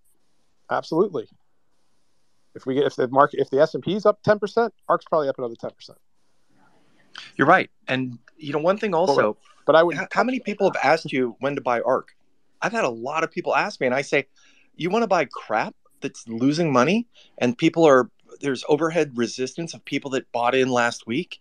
You know, All Star Charts is down 30% probably from where he told everybody we're stupid, you know, because we don't know valuation or liquidity or innovation.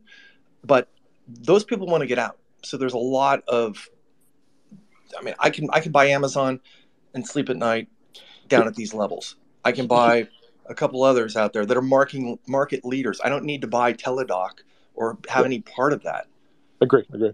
So th- this is another risk to the overhead uh, pressure on the market if if we have a short term rally here, because because the economy right now, you take a snapshot of the global economy, things are fine.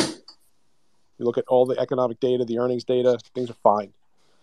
They're getting slower. They're going to get real ugly. If you take a snapshot in a year, I think it's going to be real ugly. If you take a snapshot now, things are fine. Powell saying nothing about the downside risks to growth. I'll make it more specific. The labor market is extremely strong in the U.S. So the risk here, or something I think people have to look out for that along is if the market goes up, that's only going to make Powell more emboldened. Just like if we continue to get strong employment data, which I think we will because it's a lagging economic indicator, it's going to make Powell more emboldened. So that's that's a risk because right stocks up is financial conditions easing. That's not what the Fed wants. So I'm not saying that's going to, you know the stocks are only going to go down, but to me that could be a catalyst that ends it, and that's just something I think you got you got to look out for. Yeah, that's a great point. Hey, listen, gang, I've got to go. Um, it's uh, graduation day. I'm uh, taking everybody out to lunch here, and I'm going to pop some champagne and enjoy the day. I just absolutely want to say thank you, George, and everyone. And I just, I will say, I'm a huge fan of Nautilus Research. I think you guys do amazing work, and I'm just, um, you know, I just think that it's great to have so many cool people in here all the time, and and uh, and definitely uh, please donate. George has done a great job, over 200,000. I've donated, and I'm really um, very happy about that, helping good people. So anyway, I'm out of here. My wife's going to yell at me. Talk to you. Thanks. Thanks, Tommy.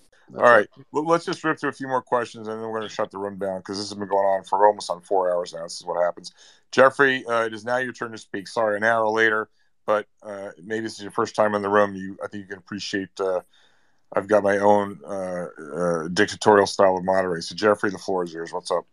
No, I was just going to say I really appreciate the room. I've listened a lot. Terrific people, much smarter than me. Somebody asked a question earlier about the retail investor or what advisors were doing, and I'm an R. I run an RIA, um, and I will tell you that the money we run, we've done well in this kind of market. It's a more our kind of market, but um, I have several clients who have money other places and they have accounts that are still 30 40% one or two of the big tech names. They haven't sold a share.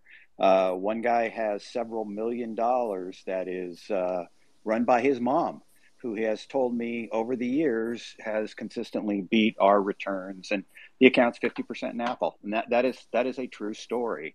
And i think there's a ton of uh, that's still out there. You don't understand if you don't talk to people on a daily basis how much of that is still out there. Apple hasn't been sold yet in these accounts.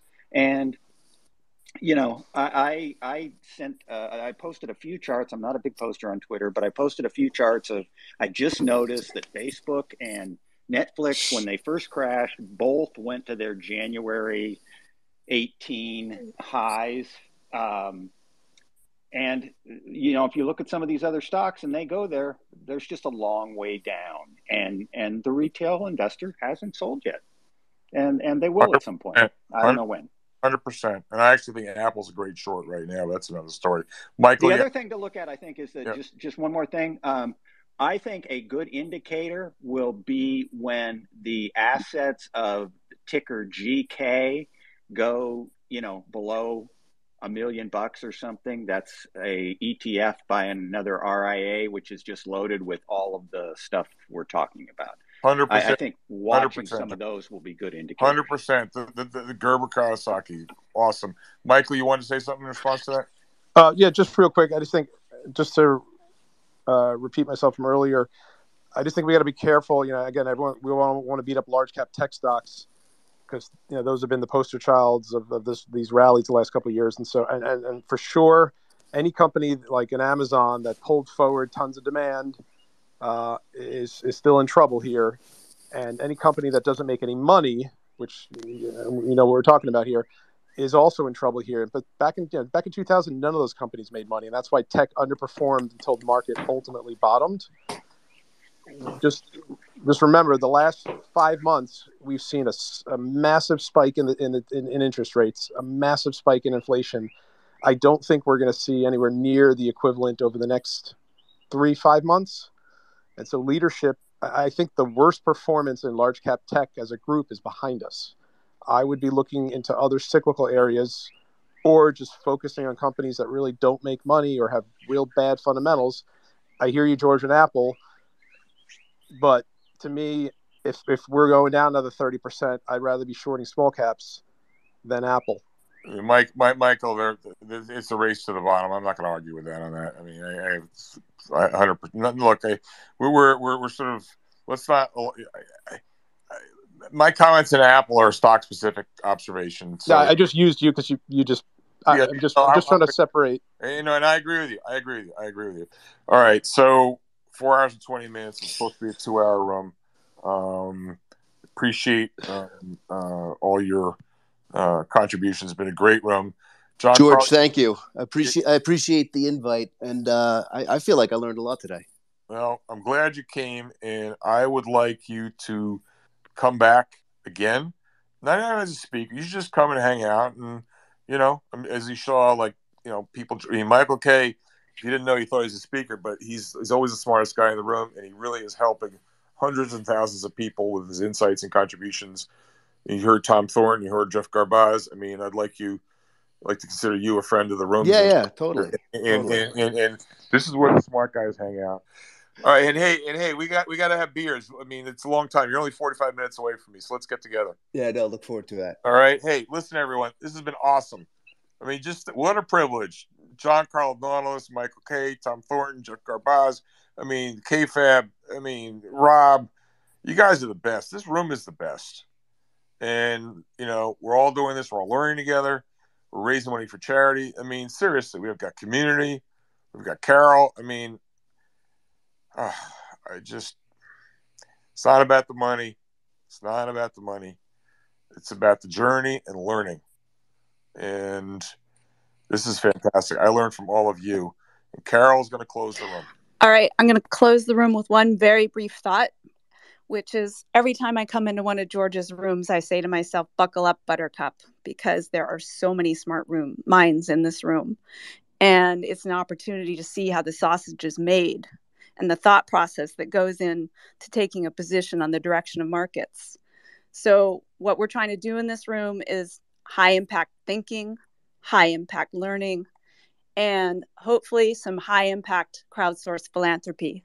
So, for those of you who are inspired by what the conversations that are taking place to pay it forward and give back, please, please consider clicking on that link to World Central Kitchen and helping us make a difference beyond these rooms.